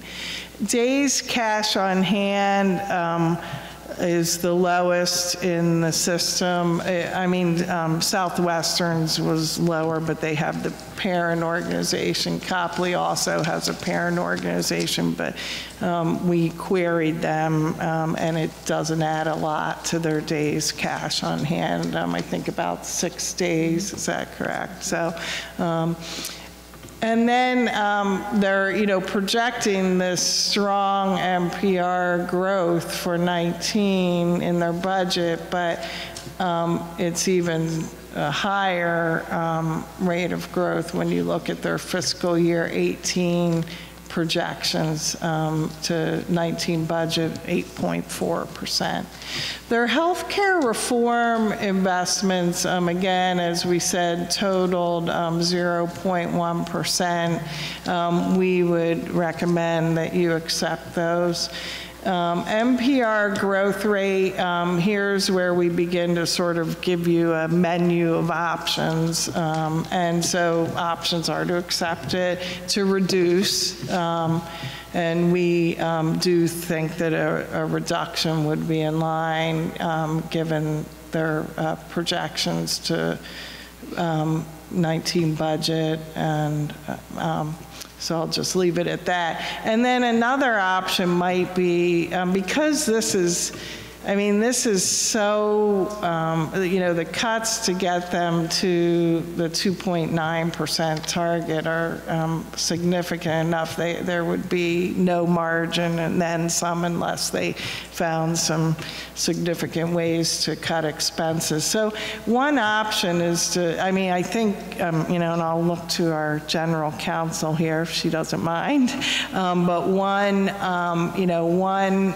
um, option, I think we have to approve something um, for them, and so one option is to approve, but then ask them to present an alternative budget, possibly. Um, And then on the We've had precedent on this, because this has happened before with this particular hospital. Yeah, we have a date by which we have to establish a budget, but we Right. have asked hospitals to come back in. Right. um, And bring us other information, so we might make adjustments. and Okay. That can be done. Yep, thank you, Judy, I appreciate. it. And then um, the commercial rate increase, um, similar, um, you know, they're coming in at 7.9%. Options are to accept it, um, which I um, don't anticipate the board going in that direction, to reduce it by some amount, and to um, ask the hospital to suggest an alternative budget and um, propose rate increase. The, the, um, you know, just to give you an idea, again, a reduction to 4% um, would again eliminate um, their margin unless there were some um, strong expense cuts. So I'll reluctantly start it off. I don't think that we, we should accept the premise that um, decisions made are are effectively coming out of margins. I think that decisions made have to include hospitals going back to the planning table and reconfigure what their budget is. So um, in this particular, this one, I had the highest rate increase of, uh, commercial rate increase of any of the different hospitals, only because we historically had cut them over the last couple of years. And I feel, um, at least looking at the days cash on hand, that this is a hospital that's headed in the wrong direction. I'd kind of like to give them a bridge to try to get to the right direction. So, um, but with that being said, I, I know I couldn't go more than four and a half percent, so I'll leave it at that. You want to go, Maureen, go right down that way? We'll finish with Jess. Um, Yeah, this is definitely one of the hospitals that's challenged, and the, it's almost like they are bridging their gap with the higher NPR growth and the higher commercial rate increase. They're actually showing some utilization declines. Um, I'm also sympathetic to the last three years, they've had a rate reduction, and possibly um, they were, you know, too deep, and, and that's, that's kind of has hurt them. Um, You know, I was looking at a commercial rate increase of, of potentially yeah, 4 to 5%. Um, I think an 8% is, is not realistic to be given.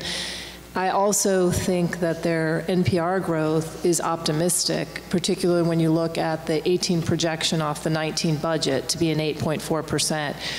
And so I would really challenge them to go back and bridge that change. They, they did a bridge off the budget to where they were showing, and I think they really need to bridge that change back to their projection, because I I think some of that would fall out of their NPR growth. When we look at their history at NPR in 15, they were at 63.5, 16, they were at 62.8, 17, they went up to about 65, 18, they're going to 66.4. So every year, they've been fluctuating around a million to a million and a half up. This is going to 72.1 from 66 on an NPR growth. And again, I think it's almost plugging to the expense load that they have, and it, that's not sustainable. They, they can't continue, you know, on their expenses, they were at uh, 67 in 2017. Um, In their 18 projection, they're at 69, and they're going up to 71.7. So we're continuing to see expenses going up significantly. NPR going up because of rate and, um, uh, and just uh, the higher NPR primarily due to the rate growth and utilization going down. So, you know, they have to correct this. um, But I also do worry about their viability, their days cash on hand. They're projecting um, what was supposed to be a flat margin to down 2.2 million um, this year because they're missing the top line. So again, it's, you know, how, how can they react to missing the top line, changing their expense load, and getting a, you know, a P&L that's going to be financially viable for them. So the 66 days on cash, I think, is about the lowest um, of all the hospitals. Um, So I think we need to be careful about, you know, how much we push their rate increase. Uh, But I think it, you know, 8% is, they were, you know, solving their problem by having a rate increase rather than solving their problem by cutting expenses. Um, We are not telling them to cut utilization. Um, And we're, we're just telling them that this, this, um, you know, is not a realistic ask. So I, I would be around the, yeah, 4 to 5% for commercial. Tom, you want to keep going that way? Sure. Um, Everything that Maureen said, make it easy. Um, No, I, I, I I think Maureen hit it, is if you, again, look at their long-term trend on NPR, it's uh, up year over year 1.5% on average, but their expense line is up 4.7%. And uh, with a wind in their face of rate cuts, in 2016, it was a um, a 4% cut in 2017, a 3.7% cut in 2018, and 3.4%. And so now we've come to the uh, inevitable conclusion that in, in, in uh, 2018, um, their margin is negative. So uh, I, and their days cash has dropped from 108 um, in 2015 down to 62 in, in, in, in 2018 pro- projected. So um, I, uh, you know, I, I wouldn't feel it unfair if, if uh, we gave them a decent rate increase. Um, uh, With the one, the concern I have is with the one that's proposed, 2019 over 2018 um, projected, uh, they would be calling for an 11% in- increase in commercial uh, re- revenues, uh, uh, which may may not be a stretch with a- a a 7 or 7% or so uh, rate increase. But I- I think this is, this hospital's at a turning point, and, um, uh, you know, we should try to help stabilize the ship estate there. I just wanted to add one other thing, too, um, I meant to say, which was, you know, this was another hospital, too, and their budget for top line, it was 69.4, and they're coming in at 67.7. Their expenses were 68, 69.3, and they're coming in at 69.9. So it's, again, you know, showing if we get kind of ahead of our skis and we're, you know, putting up a higher top line, and we don't hit it, they're not able to pull back on their expenses. They stay the same or go up slightly, which creates the loss. And that's why on the 5.9, even without a rate change or anything, I think they're not going to hit the 5.9, um, which is an 8% increase year over year.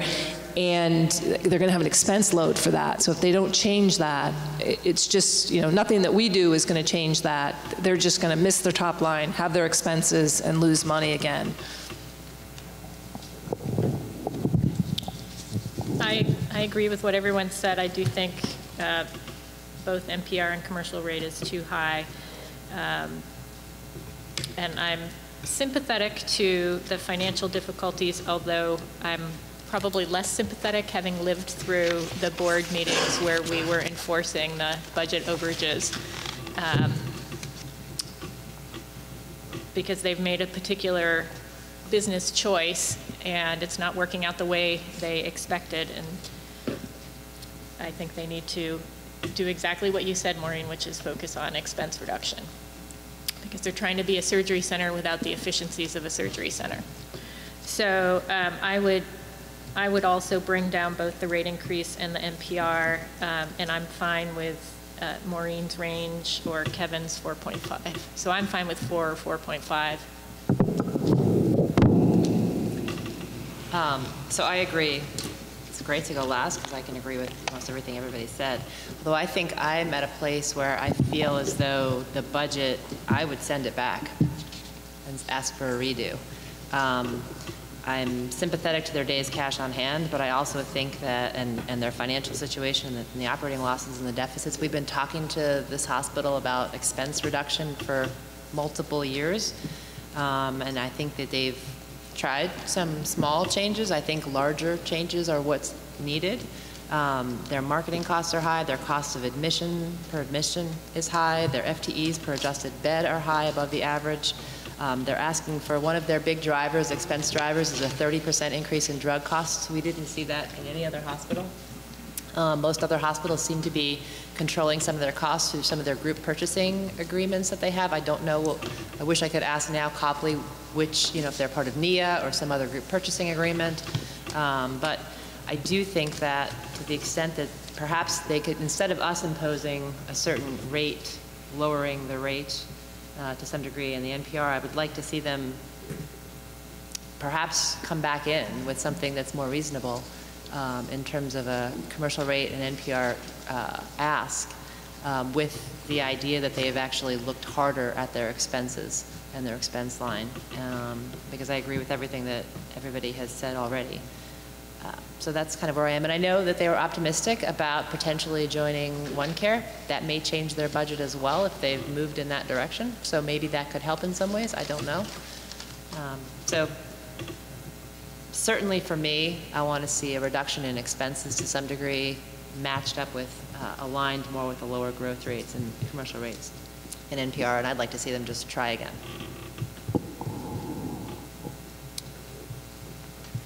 Let me ask you a question, though. Do you actually think that they would be able to come in in, in a week's time with a revised budget? I don't know, and maybe it's not in a week's time. I mean, maybe the budget, and this is where I defer to Judy, but I, I have, remember in the past, we've actually asked uh, Copley to come back in, and they came back in in December with a revised budget. I don't remember what the, how we legally uh, did that, but I, and the other piece I would say actually is I'd like to see them look at some, you know, they're the only hospital or one of the only hospitals that doesn't have any grant income. So what are they doing to gener, to increase revenues as well as reduce costs? But I don't know, I defer to Judy. I know we've, we've kind of been down this road before, so. Um, We have, and we've actually had some, um, I won't call it non-responsiveness, but I know when we were doing enforcement, it was very hard to get some of these adjustments done as requested, sending things back. What I would suggest is that we have the hospital budget team look at this again, confer with Copley about what was discussed here today, and that we would like a new budget back for the board to consider. And I think we should try to give them some targets of cuts in expenses or whatever, and ask how they would do that, because I think without giving some sort of target that you might be able to establish a budget around, it will be very difficult to just get a fully um, redone budget, because I think some of the budget detail, once we um, have it voted on and establish the parameters, we want to know they're going to be able to do that. So I think, I think we should talk um, in this coming week about what kind of targets are realistic and how could they achieve that, and get that information um, in front of the board before you vote. I would just add that um, the hospital budget team believe, is quite skeptical that they could get something in a week. You know, they'd need to um, develop it, uh, and we want it, I I mean, I'll editorialize here a bit, but we would like it to be a thoughtful um, resubmission, and, um, you know, they would most likely need to take it through their board of directors and so forth. So um, it would seem to us that the option is to um, approve something as a placeholder if we decide that we want them to weigh in, given the extent of the potential cuts, and um, give them some time to put together a thoughtful document. So just, just throwing it out there, I would suggest that the target that we give them is the 4.5% commercial rate, and then reduce the NPR accordingly, and go from there. And we also can include, as we have in the past, um, a regular reporting, which may be in person at- at, um, as needed. In person as needed by the hospital. I think on this particular hospital, we probably should go to a quarterly reporting. I I think you you could even say the 4.5 and a 3.2 NPR growth, because I, I don't think they're, they're going to get that growth. I think they're optimistic in what their growth was, just, just from their trend line. So I think it may end up being around the, you know, they would be at 2.9, I guess 2.8 if we gave them, but 3.2 or I think that makes sense. And I want to clarify, it wouldn't be in substituting for the regular reporting, but if they had to come in and answer questions for the board as actual numbers were coming back in, um, that option should be available. Right, yeah, we are just going to point out that, um, you know, once we get into the next fiscal year, um, toward the end of the year, they begin reporting monthly. Right. All of them usually do. Yeah, But we it- don't they have them- report their numbers. We don't have them, though, come into the No. board. That's right. And that's, That's I think, what the distinction we're trying to make. Yep, Okay, good. okay. Um, Northeastern Vermont Regional Hospital, um, so uh, they have come in with a budget of almost 81 million. They represent 3.1% of the system total. Um, They have proposed um, some adjustments, um, and their NPR growth with the proposed adjustment would be 4.8%. Um, For their healthcare reform investments, they have um, requested the 0.4% allowance and have provided documentation on um, what those investments would be. Um, They are not participating in the ACO programs in 2018, but um, indications are that they will be um, participating in the Medicaid program in 2019. And their fiscal year 19 rate request is 4% with an estimated 1% value of 384,000. Um, Northeastern's uh, 19 budget operating margin is 1.7%. Um, Total margin is the same, 1.7%. Um, They have 122.3 days cash on hand in their 19 budget, and their um, fiscal year 18 projection to 19 budget NPR growth is a little below their NPR budget-to-budget growth rate of 4.8. Um, We are recommending um, that uh, you do accept the adjustment to the fiscal year 18 base, and you guys actually made that um, preliminary decision um, last week um, that relates to a cardiology transfer.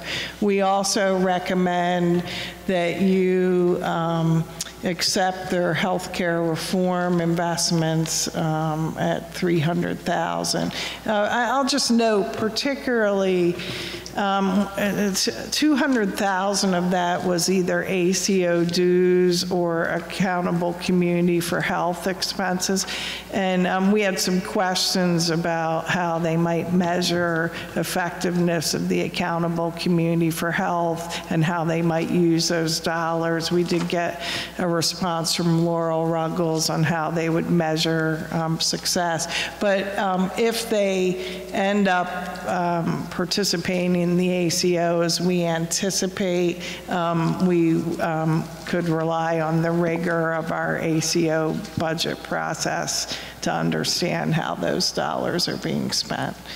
Um, Their NPR growth rate, um, from fiscal year 18 budget to 19 budget is 4.8% um, with the adjustment. Uh, We're laying out two options. One is to accept it. The other is to reduce by um, 700,000. So we received a letter last week from uh, Robert Hersey, who's here and who is their CFO.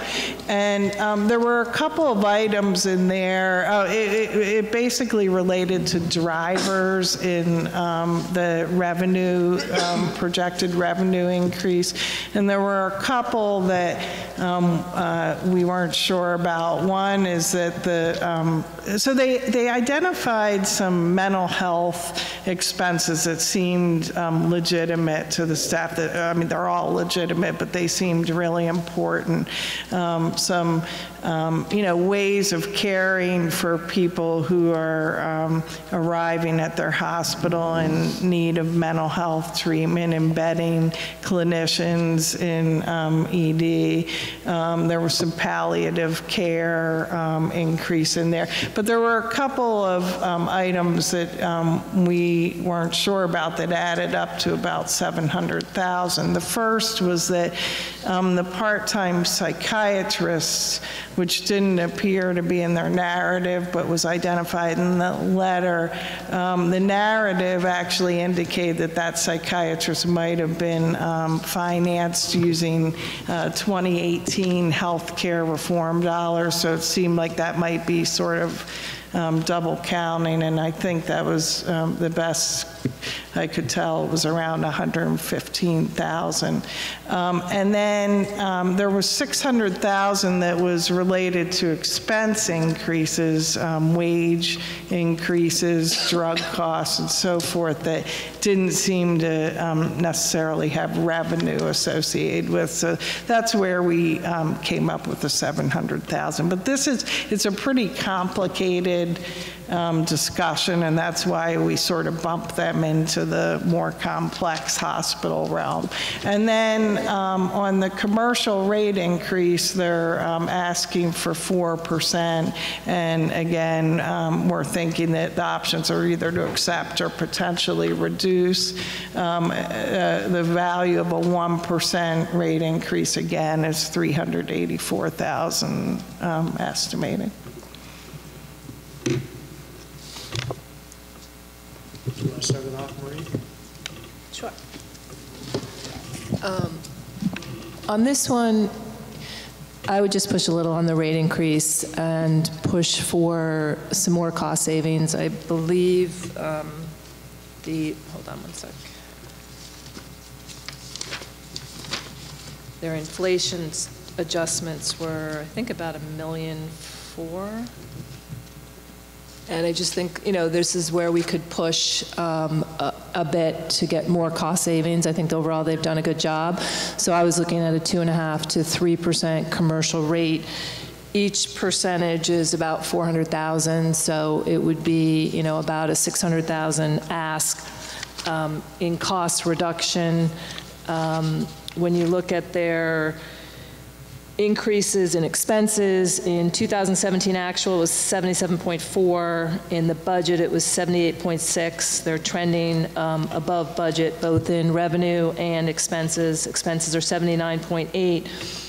But in the 19 budget, we're going from 79.8 to 83.2. And, you know, there's a lot of things going on in there, depreciation's up, other things are up, but, you know, that trend is, um, we're, we're showing a 4.6% increase on revenue on top line and a 4.6% on expenses. And, you know, we need to generate some income off those expenses. So, um, you know, overall, that would be the adjustment um, I would look at. It may still trend them higher than the NPR growth rate of 3.2, but I think they've had some things going on, cross borders um, and things like that, that have um, impacted their increase.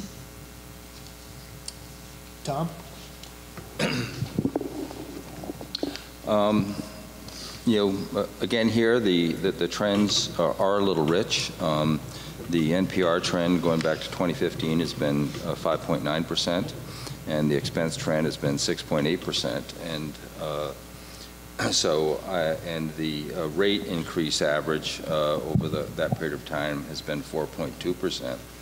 So I don't, uh, um, you know, um, I I don't have any specific recommendation at this point. I- I would like to point out um, just a contextual uh, issue that um, has jumped out at me as I've gone through these budgets. And here's an example of one where they are not project- projecting any major uh, increase in, in, in Medicaid uh, revenues. You have four, four payers, commercial and uh, Medicare and Medicaid, and then you have what individuals pay uh, through their, their premiums.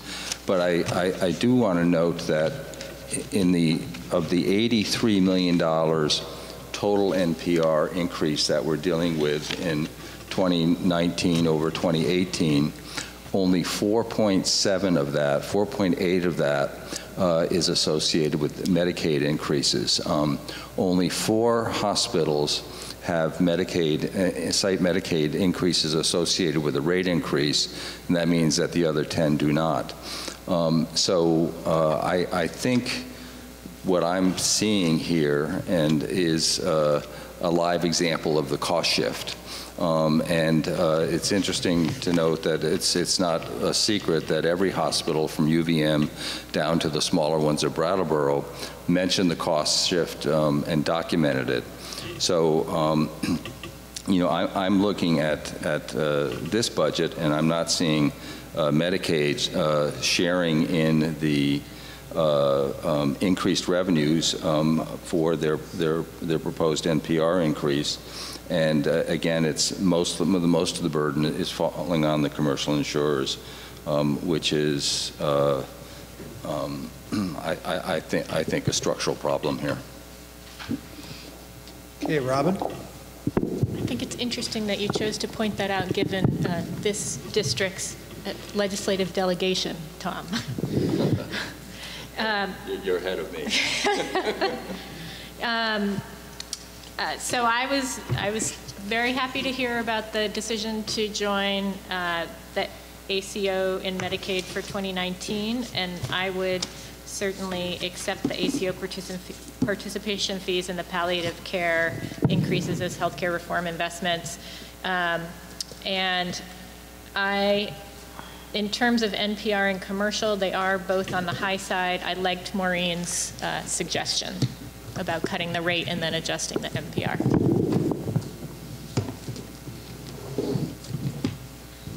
I'm up, yeah.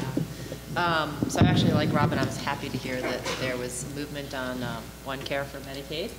Um, I look at the days cash on hand a little below average, and the margin's 1.7. Interesting that there's no significant non-operating net revenue, right? The total margin and the operating margin are the same, um, but not particularly high.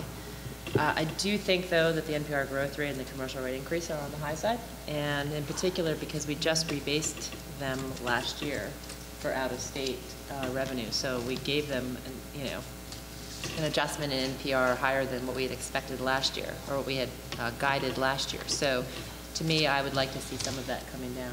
So I appreciated your suggestion, Maureen. So I too appreciated Maureen's suggestion. Um, I uh, agree on the uh, adjustment to the base, on the uh, healthcare reform investment. Um, And again, because we um, gave them an increase over the guidance in the previous year, um, I would like to see some reductions in both NPR and commercial rate. Um, I could live with that range that Maureen suggested, 2.5 to 3. Um, I probably would be more comfortable in the higher end of the range than the lower end, but, um, and from there, we have to take the NPR down accordingly. But in this particular case, I'm not sure that I would just take the NPR down by the amount of the commercial rate reduction. I think I might take it down to the 3.2%, which is what the guidance was.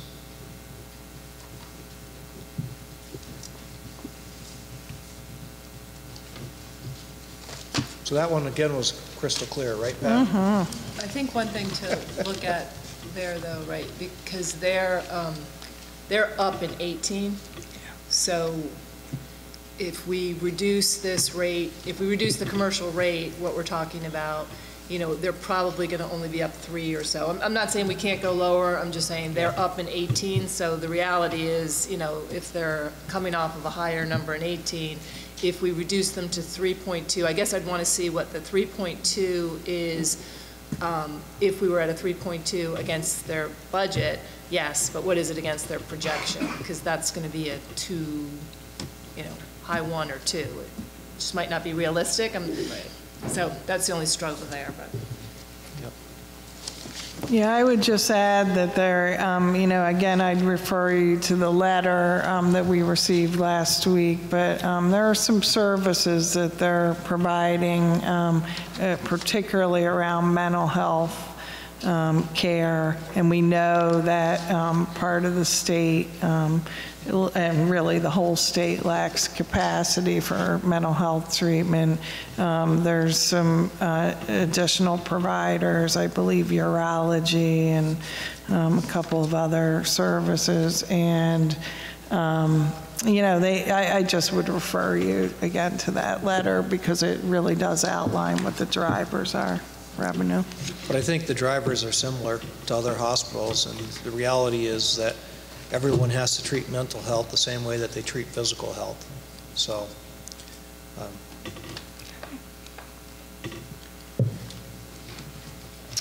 Uh, Brattleboro Memorial Hospital is the next one. Um, Brattleboro is coming in with a proposed budget of almost 84 million. They're 3.2% of the system uh, total. Um, They've proposed an adjustment um, with, without it. Their NPR growth is 6.5. With it, it's 4.8. They um, have uh, requested health reform investments that exceed the 0.4% allowance. They are they are, you know, one of the smaller hospitals that's participating in all three ACO programs in 2018. Springfield is the other. And their fiscal year 19 rate request is 4.9% with an estimated 1% value of 392,000. Uh, Their uh, operating margin in their fiscal year 19 budget is submitted is quite low at 0.3%. They're one of the hospitals that's projecting a fiscal year 18 operating loss. Uh, Similarly, their total margin at 1.2% with a projected 18 deficit. Uh, Days cash on hand, uh, pretty good, 196.2 days. Um, Their NPR growth uh, projected to budget is um, actually 6.8%. So the adjustment you all um, are tentatively approved last week, which was um, to restore an NPR reduction that was imposed uh, last year that we believe shouldn't have been. Um, So that has been um, accepted. So that would bring their NPR growth rate to 4.8%. Their um, healthcare reform investments, we're recommending that you accept all except for a neurologist um, that they are hiring are hired and asked that that be part of their investments. We were having trouble making a direct link between that and the all-payer model um, goals healthcare reform goals. Um, So options, I, I mean, we didn't get real specific here um, on uh, the options. I mean, accept or reduce their NPR growth rate, their commercial rate increase at 4.9%. Um, I would just note that reducing a half a percentage point to 4.4 would um, nearly eliminate what is already a low operating margin if they did not make concurrent expense cuts. And I would just also note that on the um, VDH um, website, Brattleboro's charges are um, mostly um, below average on, on that website, so. So Jess, do you want to lead off on this one? Uh, let me, I'm actually just looking for something, so if you Okay. can start with somebody else. So Robin, how about leading off on this one? I have no idea what to do with Brattleboro. How's that for a lead up? I, th- I mean, I do think they're on the high side, uh, but they're clearly having some financial issues. Um, although their days cash looks decent compared to some others, so, um, I don't know, the rate increase in particular bothers me at almost five percent. So I know that's not very helpful, but that's my thoughts. Okay. You, I think we tentatively decided last week to accept the uh, um, adjustment to the base. Everybody was okay with that, correct? Yep. Yes. Okay. And I'm good with the healthcare reform investments as proposed by the staff. At the 315, 518, since that's all they really need for the four. Okay. So Tom, your thoughts on Brattleboro? Um, So my thoughts on Brattleboro are that they, they have some problems.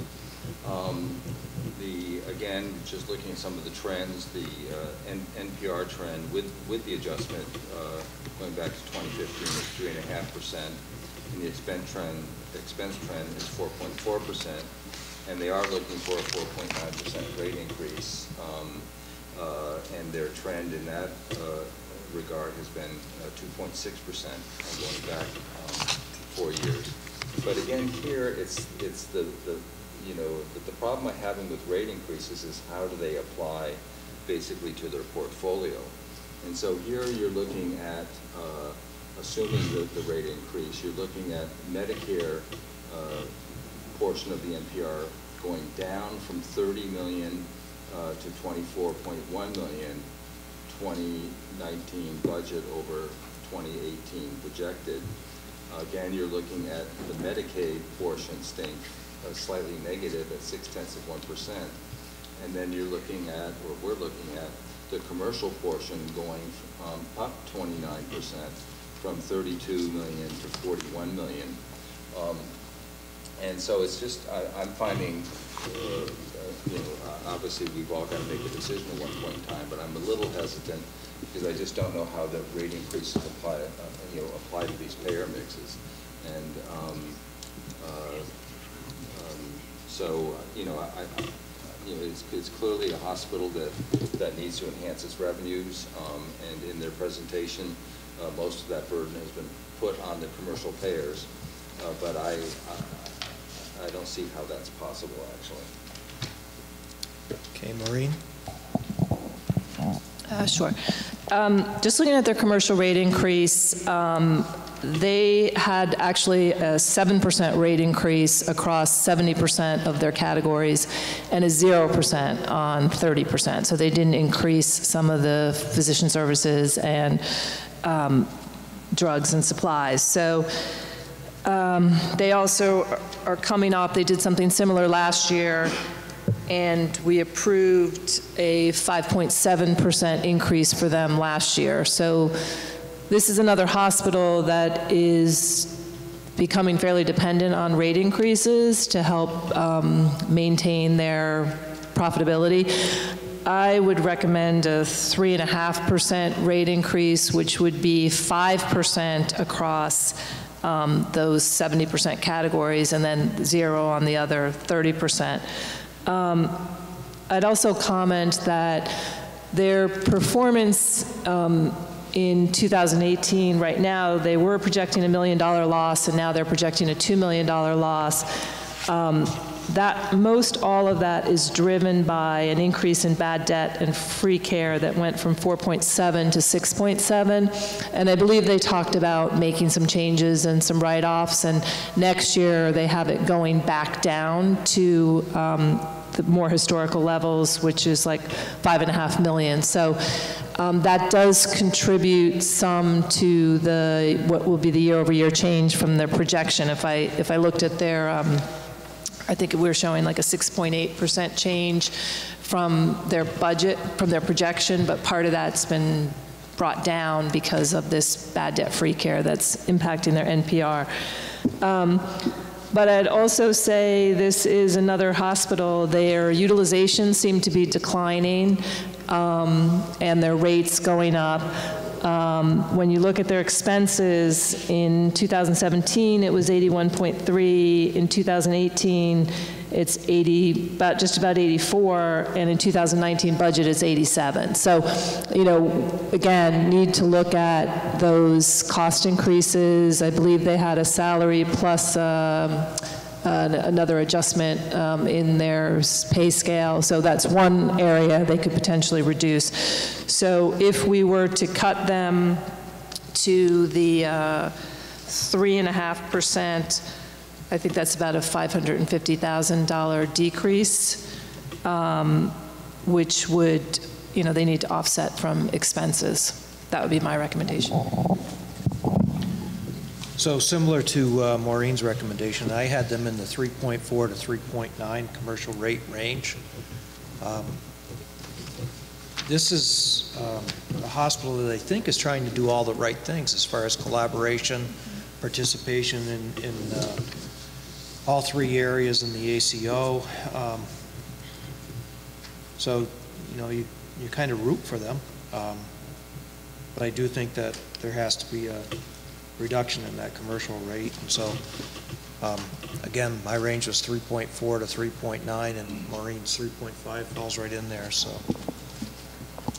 Great, thank you. Um, So again, I, I- I agree with much of what has been said. This is a hospital, I think, that's trying to do all the right things. I was very impressed, first of all, that they're all in on all three payers. Um, Hopefully will be again. Um, Their access issues, they reduced, you know, these new patient appointments from 120 days to 30 days, and I think they're really trying to get at uh, developing more stronger primary care network and and move population health in the way that we want to.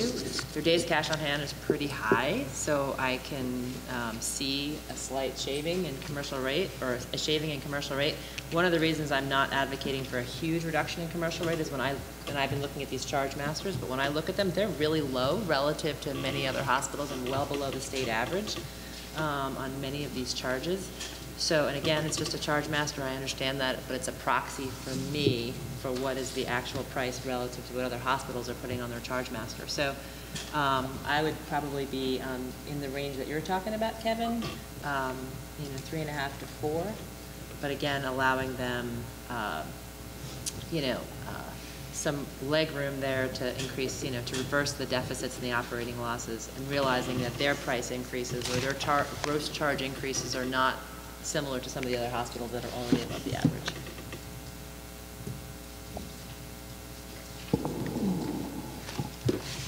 So I think that uh, we accepted some points there, especially the adjustment to the base, the healthcare reform investment for the staff recommendation. I think what I'm hearing is that there seems to be a consensus here to lower the commercial rate to below 4%, and uh, I think we'll have to iron out those details.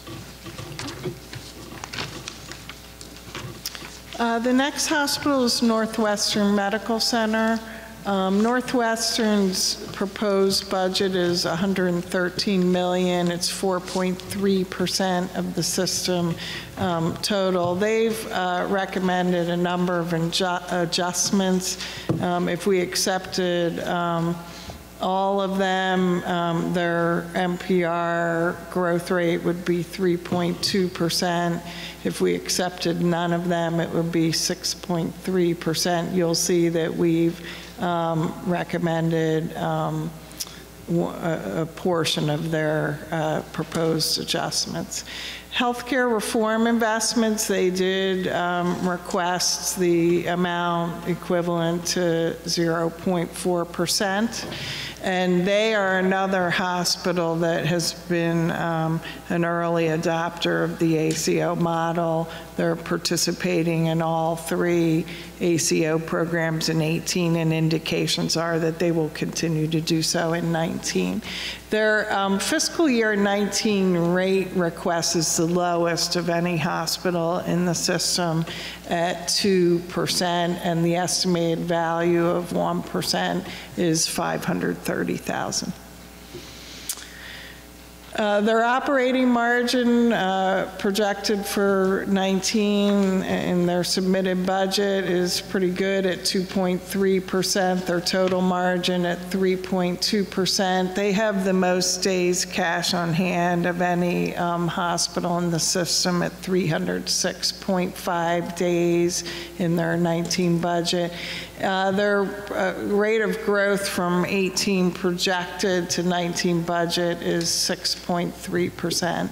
Their um, adjustments related to um, provider acquisitions, and um, the, the, the only- the reason the staff didn't uh, um, recommend approving all of them is that um, several of them um, are actually for services that don't begin until 10/1 of 19, and so it wouldn't um, be an adjustment to the 18 base.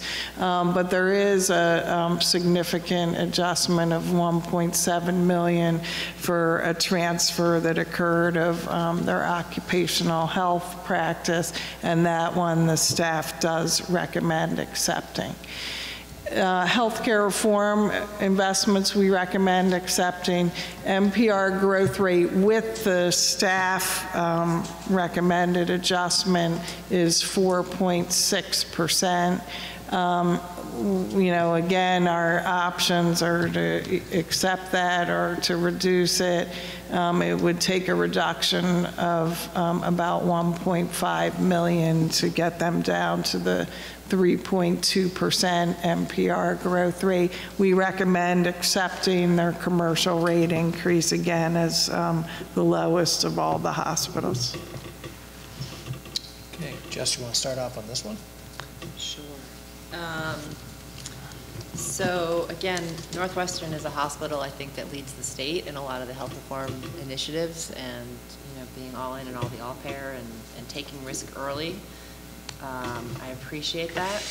On the flip side of that, I appreciate their days cash on hand, which we've always looked at and many other hospitals look at enviously. Um, I accept the staff recommendation on the adjustment, um, given, you know, the uh, transfers that are not, have not occurred yet. Um, And so with that, the 4.6% growth rate is still above, you know, our guidance. And given that, I would like to see that come down. Um, You know, they have a total margin of 3%, they have days cash on hand. I think it could come down. Um, I have to think about whether that 1.5 million is the right amount, but somewhere, you know, I, I would like to see them at 3.2, which is what our guidance was. So perhaps that's the way to do it. Okay. um, So I think we're probably all in agreement with the staff recommendation on the um, adjustment. And um, the healthcare reform investments certainly look uh, acceptable. Um, You know, and again, they did come in with the lowest commercial rate increase, but the NPR is too high, and um, I didn't have it going all the way down to the 3.2 that Jess had it, but I had it going down by a million dollars corresponding computation of the NPR rate. Rate? Um, Yeah, I think I'm actually okay with everything on the page. I just want to clarify, isn't the 1.5 million overage, if you will, because in their 2019 budget, they have these new physician practices coming on. It's not in the 2018 base. If, um, I guess there's one of two ways that you could slice that, right? One is to say, okay, take those out of your budget right now, and then when you get them approved in, in, at 10-1, you know, they would end up coming in and being acceptable. Um, seems like a lot of work, and Chris is here. or the other option would be to to say if, if in fact those really would qualify to be, you know, and I know the staff hasn't um, you know, opined on all of that, but if, if in fact they would be qualified, then I'm okay with the 4.6. Um, 2% definitely has to go down. No, I'm kidding. I think uh, the two, I, I think they came in and they talked about their willingness to take a lower rate um, increase than what they would have wanted. So I, I'm actually okay with everything you have up there, including the 4.6%, if in fact the 1.5, you know, would have been approved. I, I think it's just a timing, and Chris did, they did bring that up in their presentation.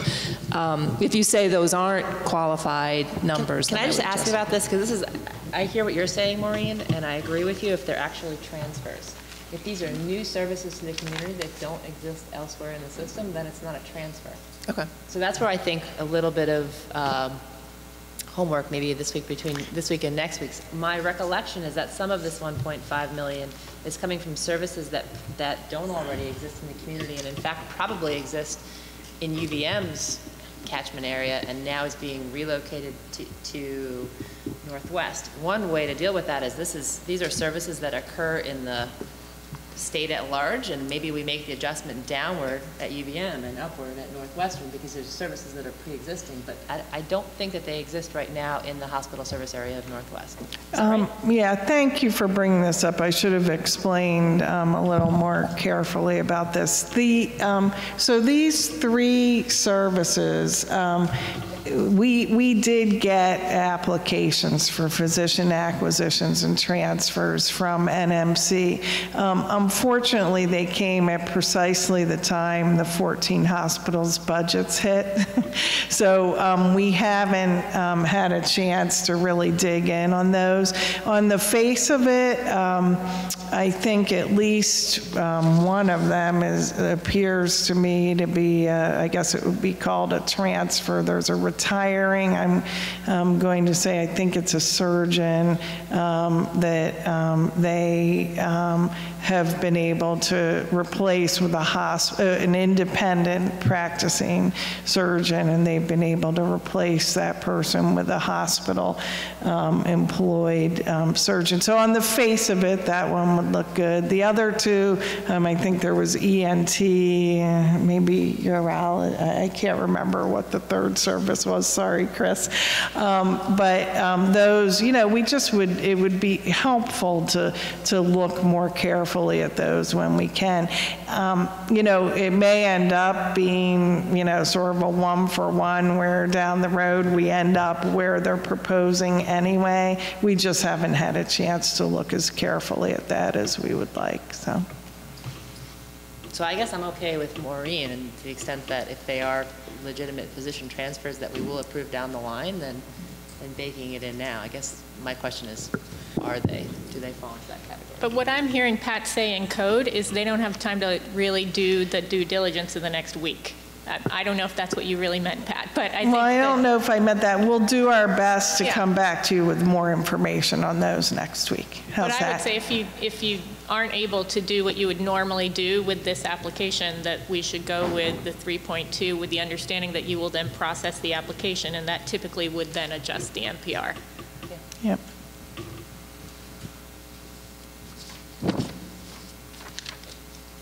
Tom? Otherwise, I'm, so I'm good. I'm good with what you guys said. I don't need to say anything else.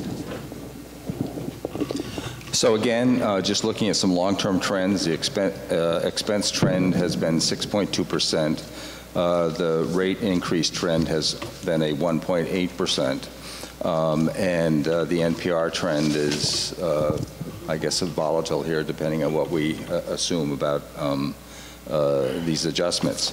Um, I I would, I would uh, support um, uh, at least looking at a, some reduction um, in their, um, in their rate. I'm looking back again on their, their trends in terms of total margin, and they're 8.1%, 6.2%, 6.8%, 1.4%, 2.9%, and uh, this proposed 3.2%. Um, I don't want to punish somebody for doing, for doing well, um, um, but I, again, here, don't uh, have a, have a complete grasp of how the rate structure affects uh, commercial Medicaid and Medicare. Um, Looking at their 2019 budget over 2018, um, um, to, to, to get from their 2018 um, proposed to, or or projected to their 2019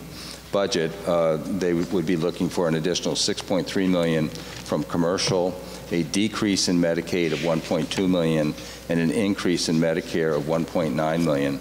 And so I, I just want to spend some more time thinking about how that all gets integrated, um, but I, I, I could support um, a rate reduction here.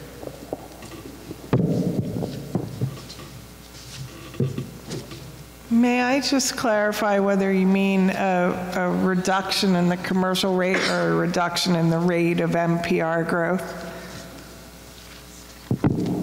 Well, I, I'm, I'm uh, not looking at the NPR growth. I'm, uh, I'm looking at the, the rate from 2%.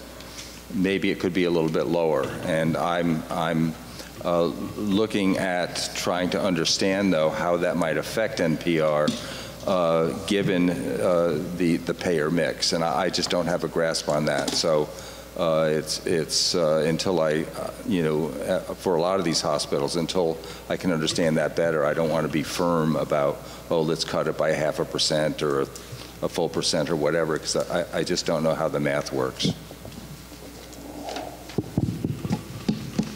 Another one that was clear as mud.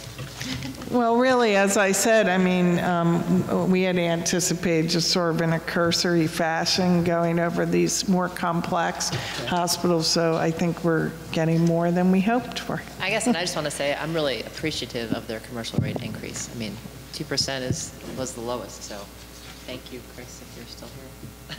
I appreciated that. Okay.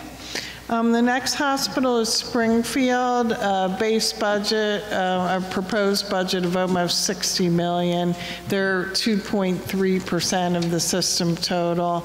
Um, Their NPR um, growth um, is 1%. They're a hospital that was coming in quite low on their um, actuals versus um, per- uh, budget. And they did not request healthcare reform um, investments and didn't need them to hit the NPR target. They're another um, smaller hospital that has um, stepped out and is participating in all three ACO programs in 2018, and no um, indication that that won't continue. Their fiscal year 19 um, rate request is 5%, and the estimated value of a 1% rate increase is um, 319,000 uh, of relatively, um, you know, lowish uh, operating margin in their 19 budget um, of 1.3%, a total margin of um, 2.7 uh, percent. I would note that they are projecting an operating loss and deficit um, in fiscal year 18. Their days cash on hand are at uh, 106.8 days, and their 18 projection to 19 budget NPR growth is 5%. The staff recommends um, that they, um, that you accept their NPR growth rate um, at 1%. In terms of the commercial rate increase, again, we're just sort of um, suggesting options here. One is to accept it. Um, The other is a slight reduction. Uh, A 1% reduction would um, take up nearly 40% of their operating margin if they had no um, uh, concurrent expense cuts. So Springfield, I thought, when they came in, did a pretty good job of talking about how they had historically tried to uh, not raise rates, um, and that they maybe, may have hurt themselves in the long run by that. Um, But on the same token, I think 5% is, is outside of the acceptable range, so um, my feeling on this one would be to cut it by 1% down to 4. Anybody else want to jump in here? Anybody? Um, Yeah, I think with Springfield, they're another hospital that has, for the past two years, continued to show that they're soft at their top line to their forecast. Their expenses stay about the same, and they lose money when they were projecting not to. So in 2017, um, their projected NPR was 59.2. They came in at 52 million. And instead of making 1.8 million on net operating income, they lost 3.8 million. In 2018, their projection was 60.8 million in total operating revenue. They're coming in at 58.6. Their expenses were supposed to be 59.8, and they're coming in at 59.6. So only a reduction of 200,000 on a over 2 million top line reduction. So instead of making a million dollars, they're losing 900. So again, this is another one that's trying to make that up through a rate increase when they really need to align their expenses more in line with what their revenue is going to be. And when they come in with, they're looking now at a 5% top line growth against projection, only 1% against their NPR, they may be setting themselves up uh, again for having too high of a year over year increase putting their expense base in, and if they don't make that, there's not enough time for them to react, and they lose money again. Um, so it's a challenge. I, I think the 5% rate is high. Um, and they did get last year a 6.5% rate increase. Uh, in 2017, they were at zero. So, you know, there may be some correction there, but last year they had one of the higher rate increases. So I was between, you know, 3 to 4%. I think they need to really look at their costs, not just from a rate reduction, but really aligning where their re- a realistic forecast for their top line with expenses.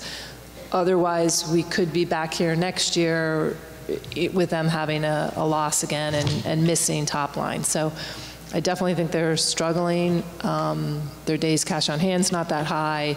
So, you know, I was with a small commercial rate incre- decrease. Jess? Yeah, this is a hospital that I struggle with. Um, Similarly, I feel like they are, it's probably optimistic that they're going to get 5% from projected to budget growth. Um, And, you know, we did off, we did give them a 6% rate hike last year. They're asking for 5% this year. Many of their inpatient gross charges are above the state average already.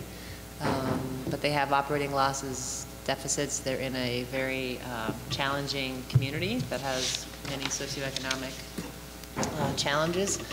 So I- I hesitate to cut their commercial rate too much, but I would support a small, you know, some cut in that. Um, Simply also because their gross charges are already high. So it's not, this is not the vehicle to right the ship, I think, to keep asking for commercial rate increases. So expense reduction has got to be in order. Okay, Robin? Um, I'm, I'm at the same place as everyone else. Tom?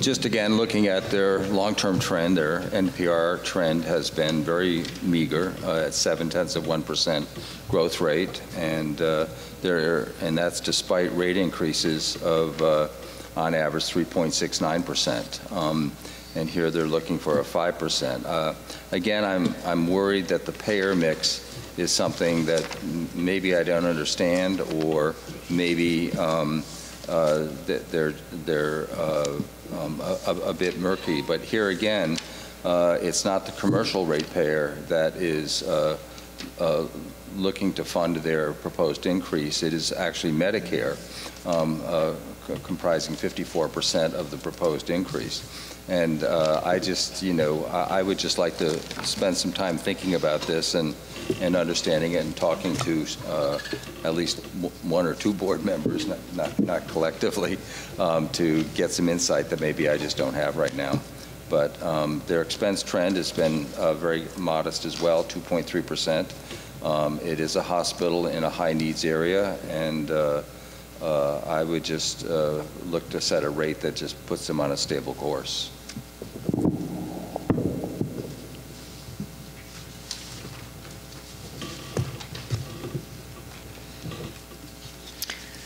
So the last three hospitals are the um, UVM Health Network hospitals. Um, There's a fair amount of complexity here, so we'll um, walk through them one by one. Um, There, uh, so first of all, all three hospitals have proposed adjustments to the fiscal year 18 um, base. In the case of Central Vermont, it's um, in two areas. One is um, an ACO accounting change. Um, The hospitals, um, until this budget, have netted out their, um, their ACO participation fees um, from NPR on the advice of, um, you know, their auditor, possibly not, but, you know, there's, uh, let me just say that in the ACO accounting on the participation fees, there is no right answer. Um, We have auditor, because this is so new, we have auditors who disagree on how this should be booked. Um, You know, there's probably some variation in how hospitals are doing it, and it's um, a very high priority for your hospital budget team in the coming year um, to, to sort of sort that out and hopefully give some guidance to hospitals on how to book these participation fees and even the FPP, the fixed prospective payments. So it's not a right or wrong answer, but UVM, the UVM hospitals have made a change because their auditor recommended it. So um, it, it makes it look like their NPR um, is increasing more than it is, partly because of that accounting change. So I just want you to keep that in mind as you look at the NPR growth rates for these three hospitals. Um, And it's laid out um, to some degree in their narrative as well and in their responses to, to staff questions. So, um, and then the other adjustment is, for CVMC is for uh, provider transfers. And you'll see that we have um, a similar situation with them as we have with uh, Northwestern, and we'll explain it later. Um, Their proposed budget is uh, 211 million, they're 8.1% of the system total. Without any adjustments, um, their um, NPR growth will be 6.5%. With the staff recommended adjustment, it's still 6.5%. And if we accepted all of their proposed adjustments, it would be 5%. Their healthcare reform investments, they did um, propose some, and um, it is um, at about that 0.4% um, level. They are another hospital participating in all three ACO programs, and their fiscal year 19 um, rate increase request is 2.8%, um, with the estimated value of a 1% rate- rate increase at 1.2 million. Uh, Their operating margin in their proposed uh, 19 budget is 1.4%. Their total margin is 3.3%. Um, Days cash on hand, kind of middle of the pack at 112.7 days. Their um, 18 projected to 19 budget NPR growth is at 3.6%. Um, So the adjustments, there was um, an adjustment of $102,702 for a provider acquisition, um, a pulmonology practice, which we are, um, have approved and are recommending, and you actually agreed that that should be an adjustment to their fiscal year 18 base. Um, The accounting adjustment, we're, we're saying um, not to accept because we're not, you know, we just don't have clear guidance on how to book this. But in saying that, if you um, decide to um, agree with us on that, we would just ask you to still keep it in mind because again, it um, over, it- it- it's, not- we won't be comparing apples to apples from 18 to 19. Um, And so you need to keep in mind that the result of that is that it overstates their NPR growth rate.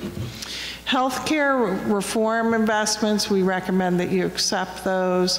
Um, The NPR growth rate with the one adjustment that we're suggesting is 6.5%.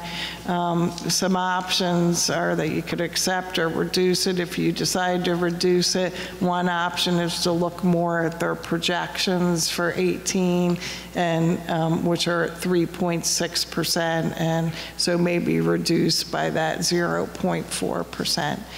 Uh, Commercial rate increase, um, you know, 2.8% is one of the lower ones. Um, So you could consider accepting that. If NPR ends up being reduced um, at all, you might want to consider reducing um, the rate to, to generate that NPR reduction.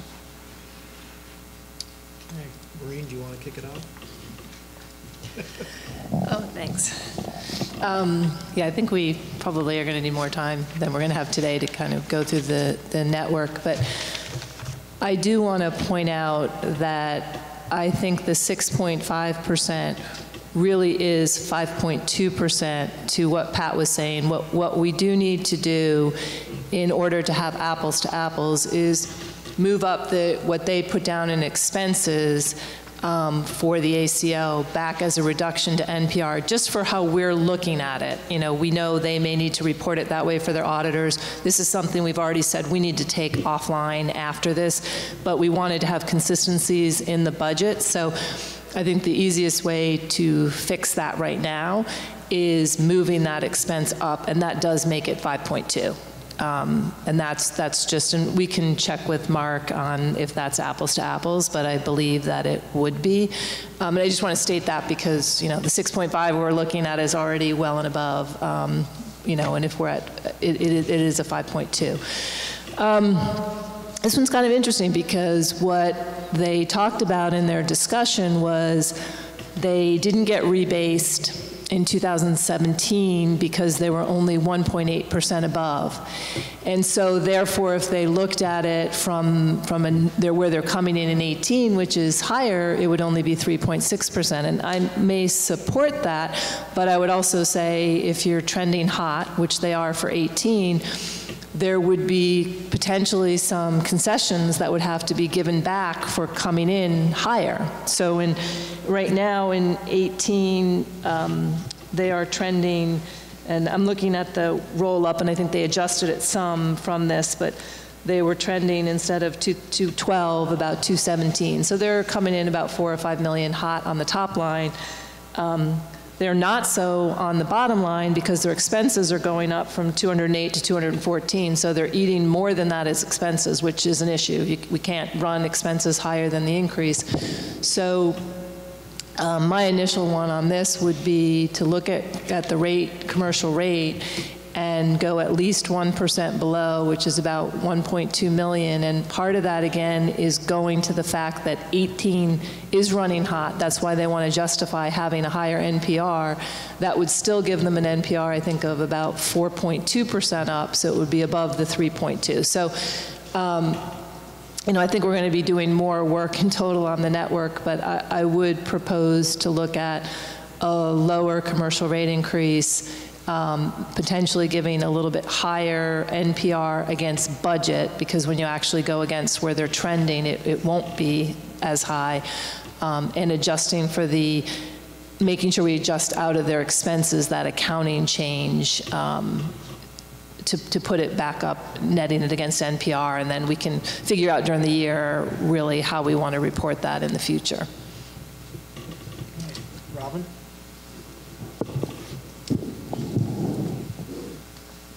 Um, I, Maur- Maureen answered my, I had an ACO accounting adjustment, because every time, question, because every time I think I understand it, it, it gets turned over in my head. But uh, what you said made sense to me, Maureen, because it made sense to me that uh, it should be apples to apples. So I'll- that's all I'll say about that.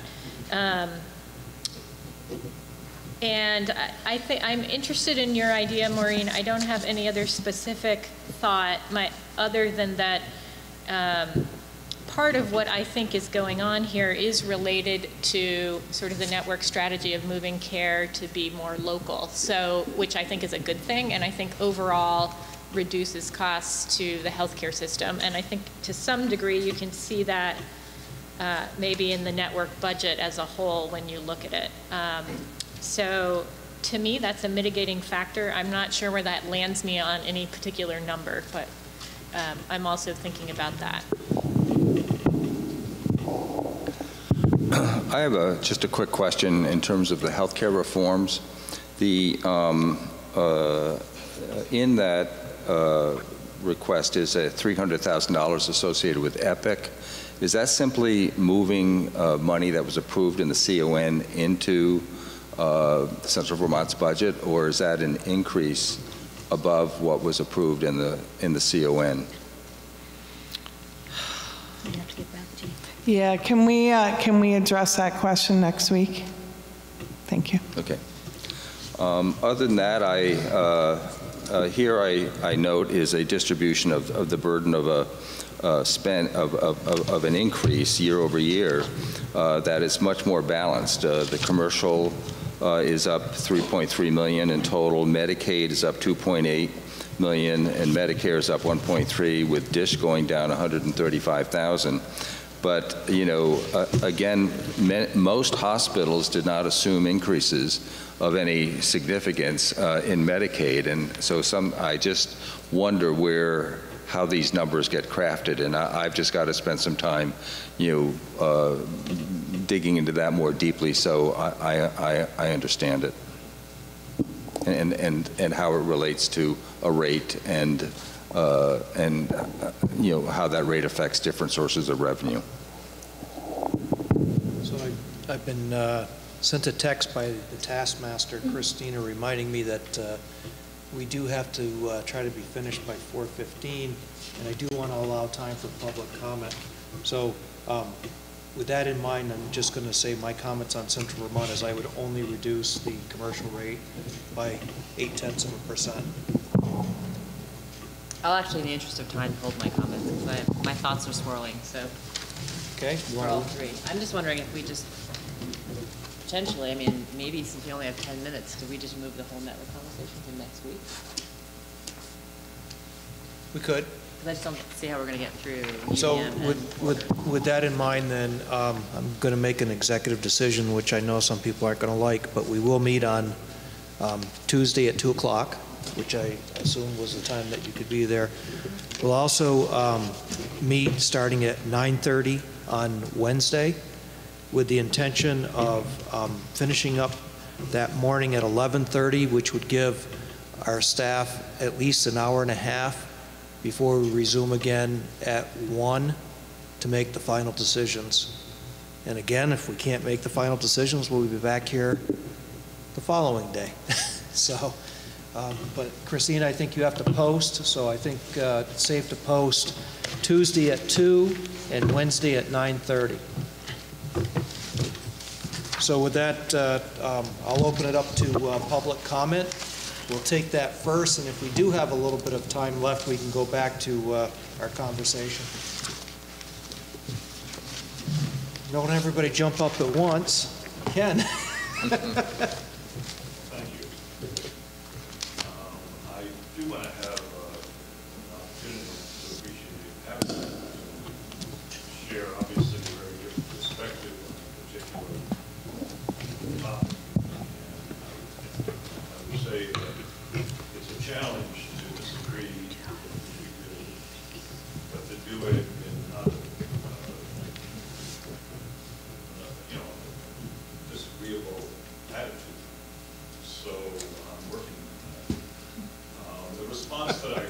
and I know you can do it.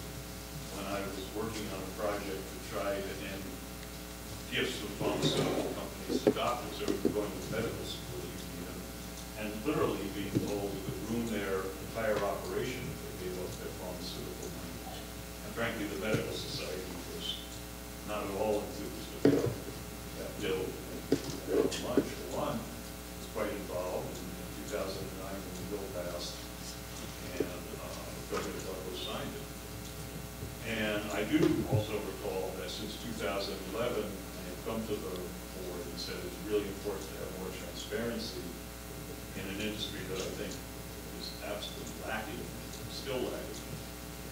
Um, the board did not see fit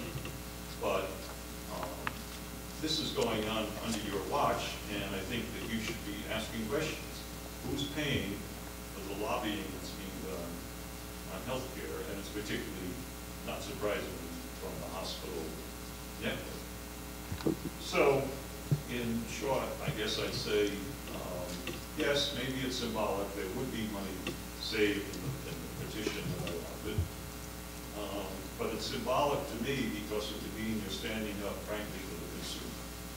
The consumer's the one who paid the, the bill in the end. And it's no great secret that it has become a greater stress every year despite lots of good attempts and, and continued attempts to bend the curve. The curve has been bent to a degree, but it's still moving in the direction that makes healthcare either unaffordable or really not obtainable because of large copays and deductibles and other related problems. So I think, you know, I would say that on this issue of petition, um, silence is not golden. I think there is an enormous problem in the fact that the balance between allowing hospitals to have their sovereignty, which they should have, but it reaches a point, and it has gone beyond that point, in my opinion, where um, it is imperative to take a stand. And the proposal I laid out, uh, which seemingly is rejected, to put a freeze for one year on those making more than $500,000 in um, hospital administration work. And the second part, which is related, is to ask the board to conduct an analysis to look at over the five-year period what the percentage increase has been between hospital administrative staff, particularly at the University of Medical Center, and other areas of the service delivery system, including but not limited to the doctors, surgeons, nurses, and the folks that make hospitals work. And let that be a guide, and let the board provide guidance to the hospitals and to the, the boards of hospitals as to a certain level of, uh, of common sense decision. So I do feel badly that um, seemingly the proposal um, has only gotten a lukewarm response. But I will tell you that the time will come when this issue will receive a more favorable there are two components to what I proposed, even if, uh, frankly, uh, there isn't the stomach for putting a freeze on exorbitant salaries. One could take a look at the percentage increases, as I've outlined, and report to the public, and let the public have a better sense of where the money is being invested, uh, while we all worry about precious healthcare dollars. So I I appreciate the opportunity to share with you a perspective. Uh, This issue won't go away. Uh, This issue will return, and I'd be happy to be a party to, uh, to a party where we get closer to a point of saying, there's an argument made that there's a perfect logical reason why the board should in fact become engaged in setting certain limits and certain parameters on one of the many cost drivers in this healthcare system. So thanks, Ken. As usual, I think that um, the board agrees with a lot more than um, what appears on the surface. But at the same time, um, I just want to point out, and you were around, so you remember the history just as well as I do, and I don't know if it was 15 years ago or what, but um, there was some very good reporting done on Bennington, Vermont, with the tenure of Harvey Yorke. And creatively, Harvey had set up a number of different structures there, but when you cumulatively added those up, he was making 875,000, which was, at the time, I think, uh, the head of UVM was in the low 600s. And there, because of that um, light being shown on that salary, there was a public outcry. And I don't think that Tom Dee is making today what Harvey Yorke made 15 or 20 years ago. So um, I just want to say that what we posted on our website last year did include the 990 information, which did have the names and the salary. So I, I think that um, we, we have started that process of shining the light on it. The community itself, these are nonprofit hospitals run by their local communities. And I think that the board members are hearing from their community members that maybe it's time to take a pause.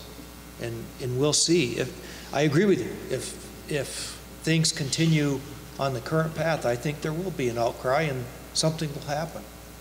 And that something that will happen will probably be a legislative bill.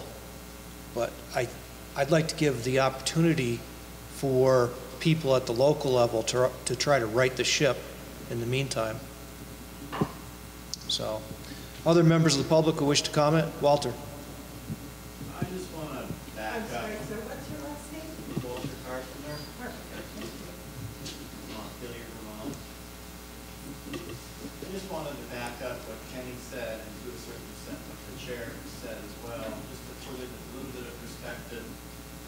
Um, I work for the state as well, and I'm in the tourist business, which brings millions of dollars into this state. I'm lucky if I get a dollar a raise every two years. And that's just to put it into perspective, and you know, a dollar or two an hour every two years, so, and that's it. That's kind of what we're dealing with, and you probably know. Yep. Just want to back it up. Thank you, Walter. Thank the board for your transparency, what you've done. You've done with salaries. And clearly, state employees are, are looking at two years of 1.85%. Yeah.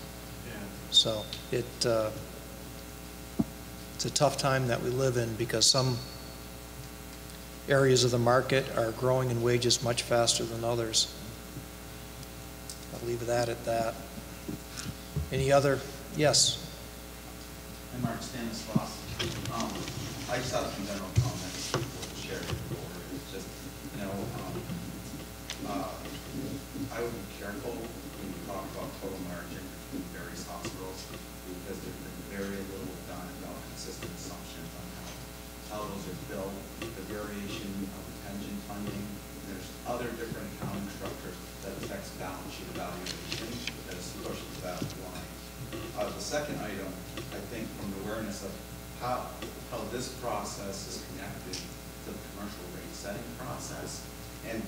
just to share the rates that were approved through Vermont Health Exchange, that they range between five point eight and six point eight percent. And if you look at those growth factors, regardless of if it's NPR growth or what the average commercial growth is, those increases are hundred and eighty percent to two hundred and ten percent of what we're talking about today. So, you know, I know we're talking about adjusting commercial rates, and we also know that the Green Mountain Care Hospital review process only covers a portion of those expenses in those rates. So I've said this before, and I worry about that all of that burden in commercial, you know, rate setting process, which it is a burden, okay? The facts of that is balanced on this process that doesn't cover all of the expenses in that. So, you know, you know, we're talking about three point one and three point two. I think these are historical, very low growth rates compared to where, you know, the past processes have been. But those are very small percentages when you compare it to the commercial acts that were just approved. The third thing I would like to point out is Maureen said something about a strategic plan, and I do think there is a strategic plan. It's the all-payer model. There's a commitment that this state made to the all-payer model about certain growth factors as far as participating lives.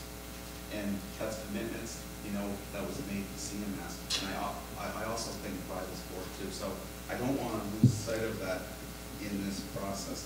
And then the other thing, which this may vary by hospital, um, depending on what you are basing with your decisions on.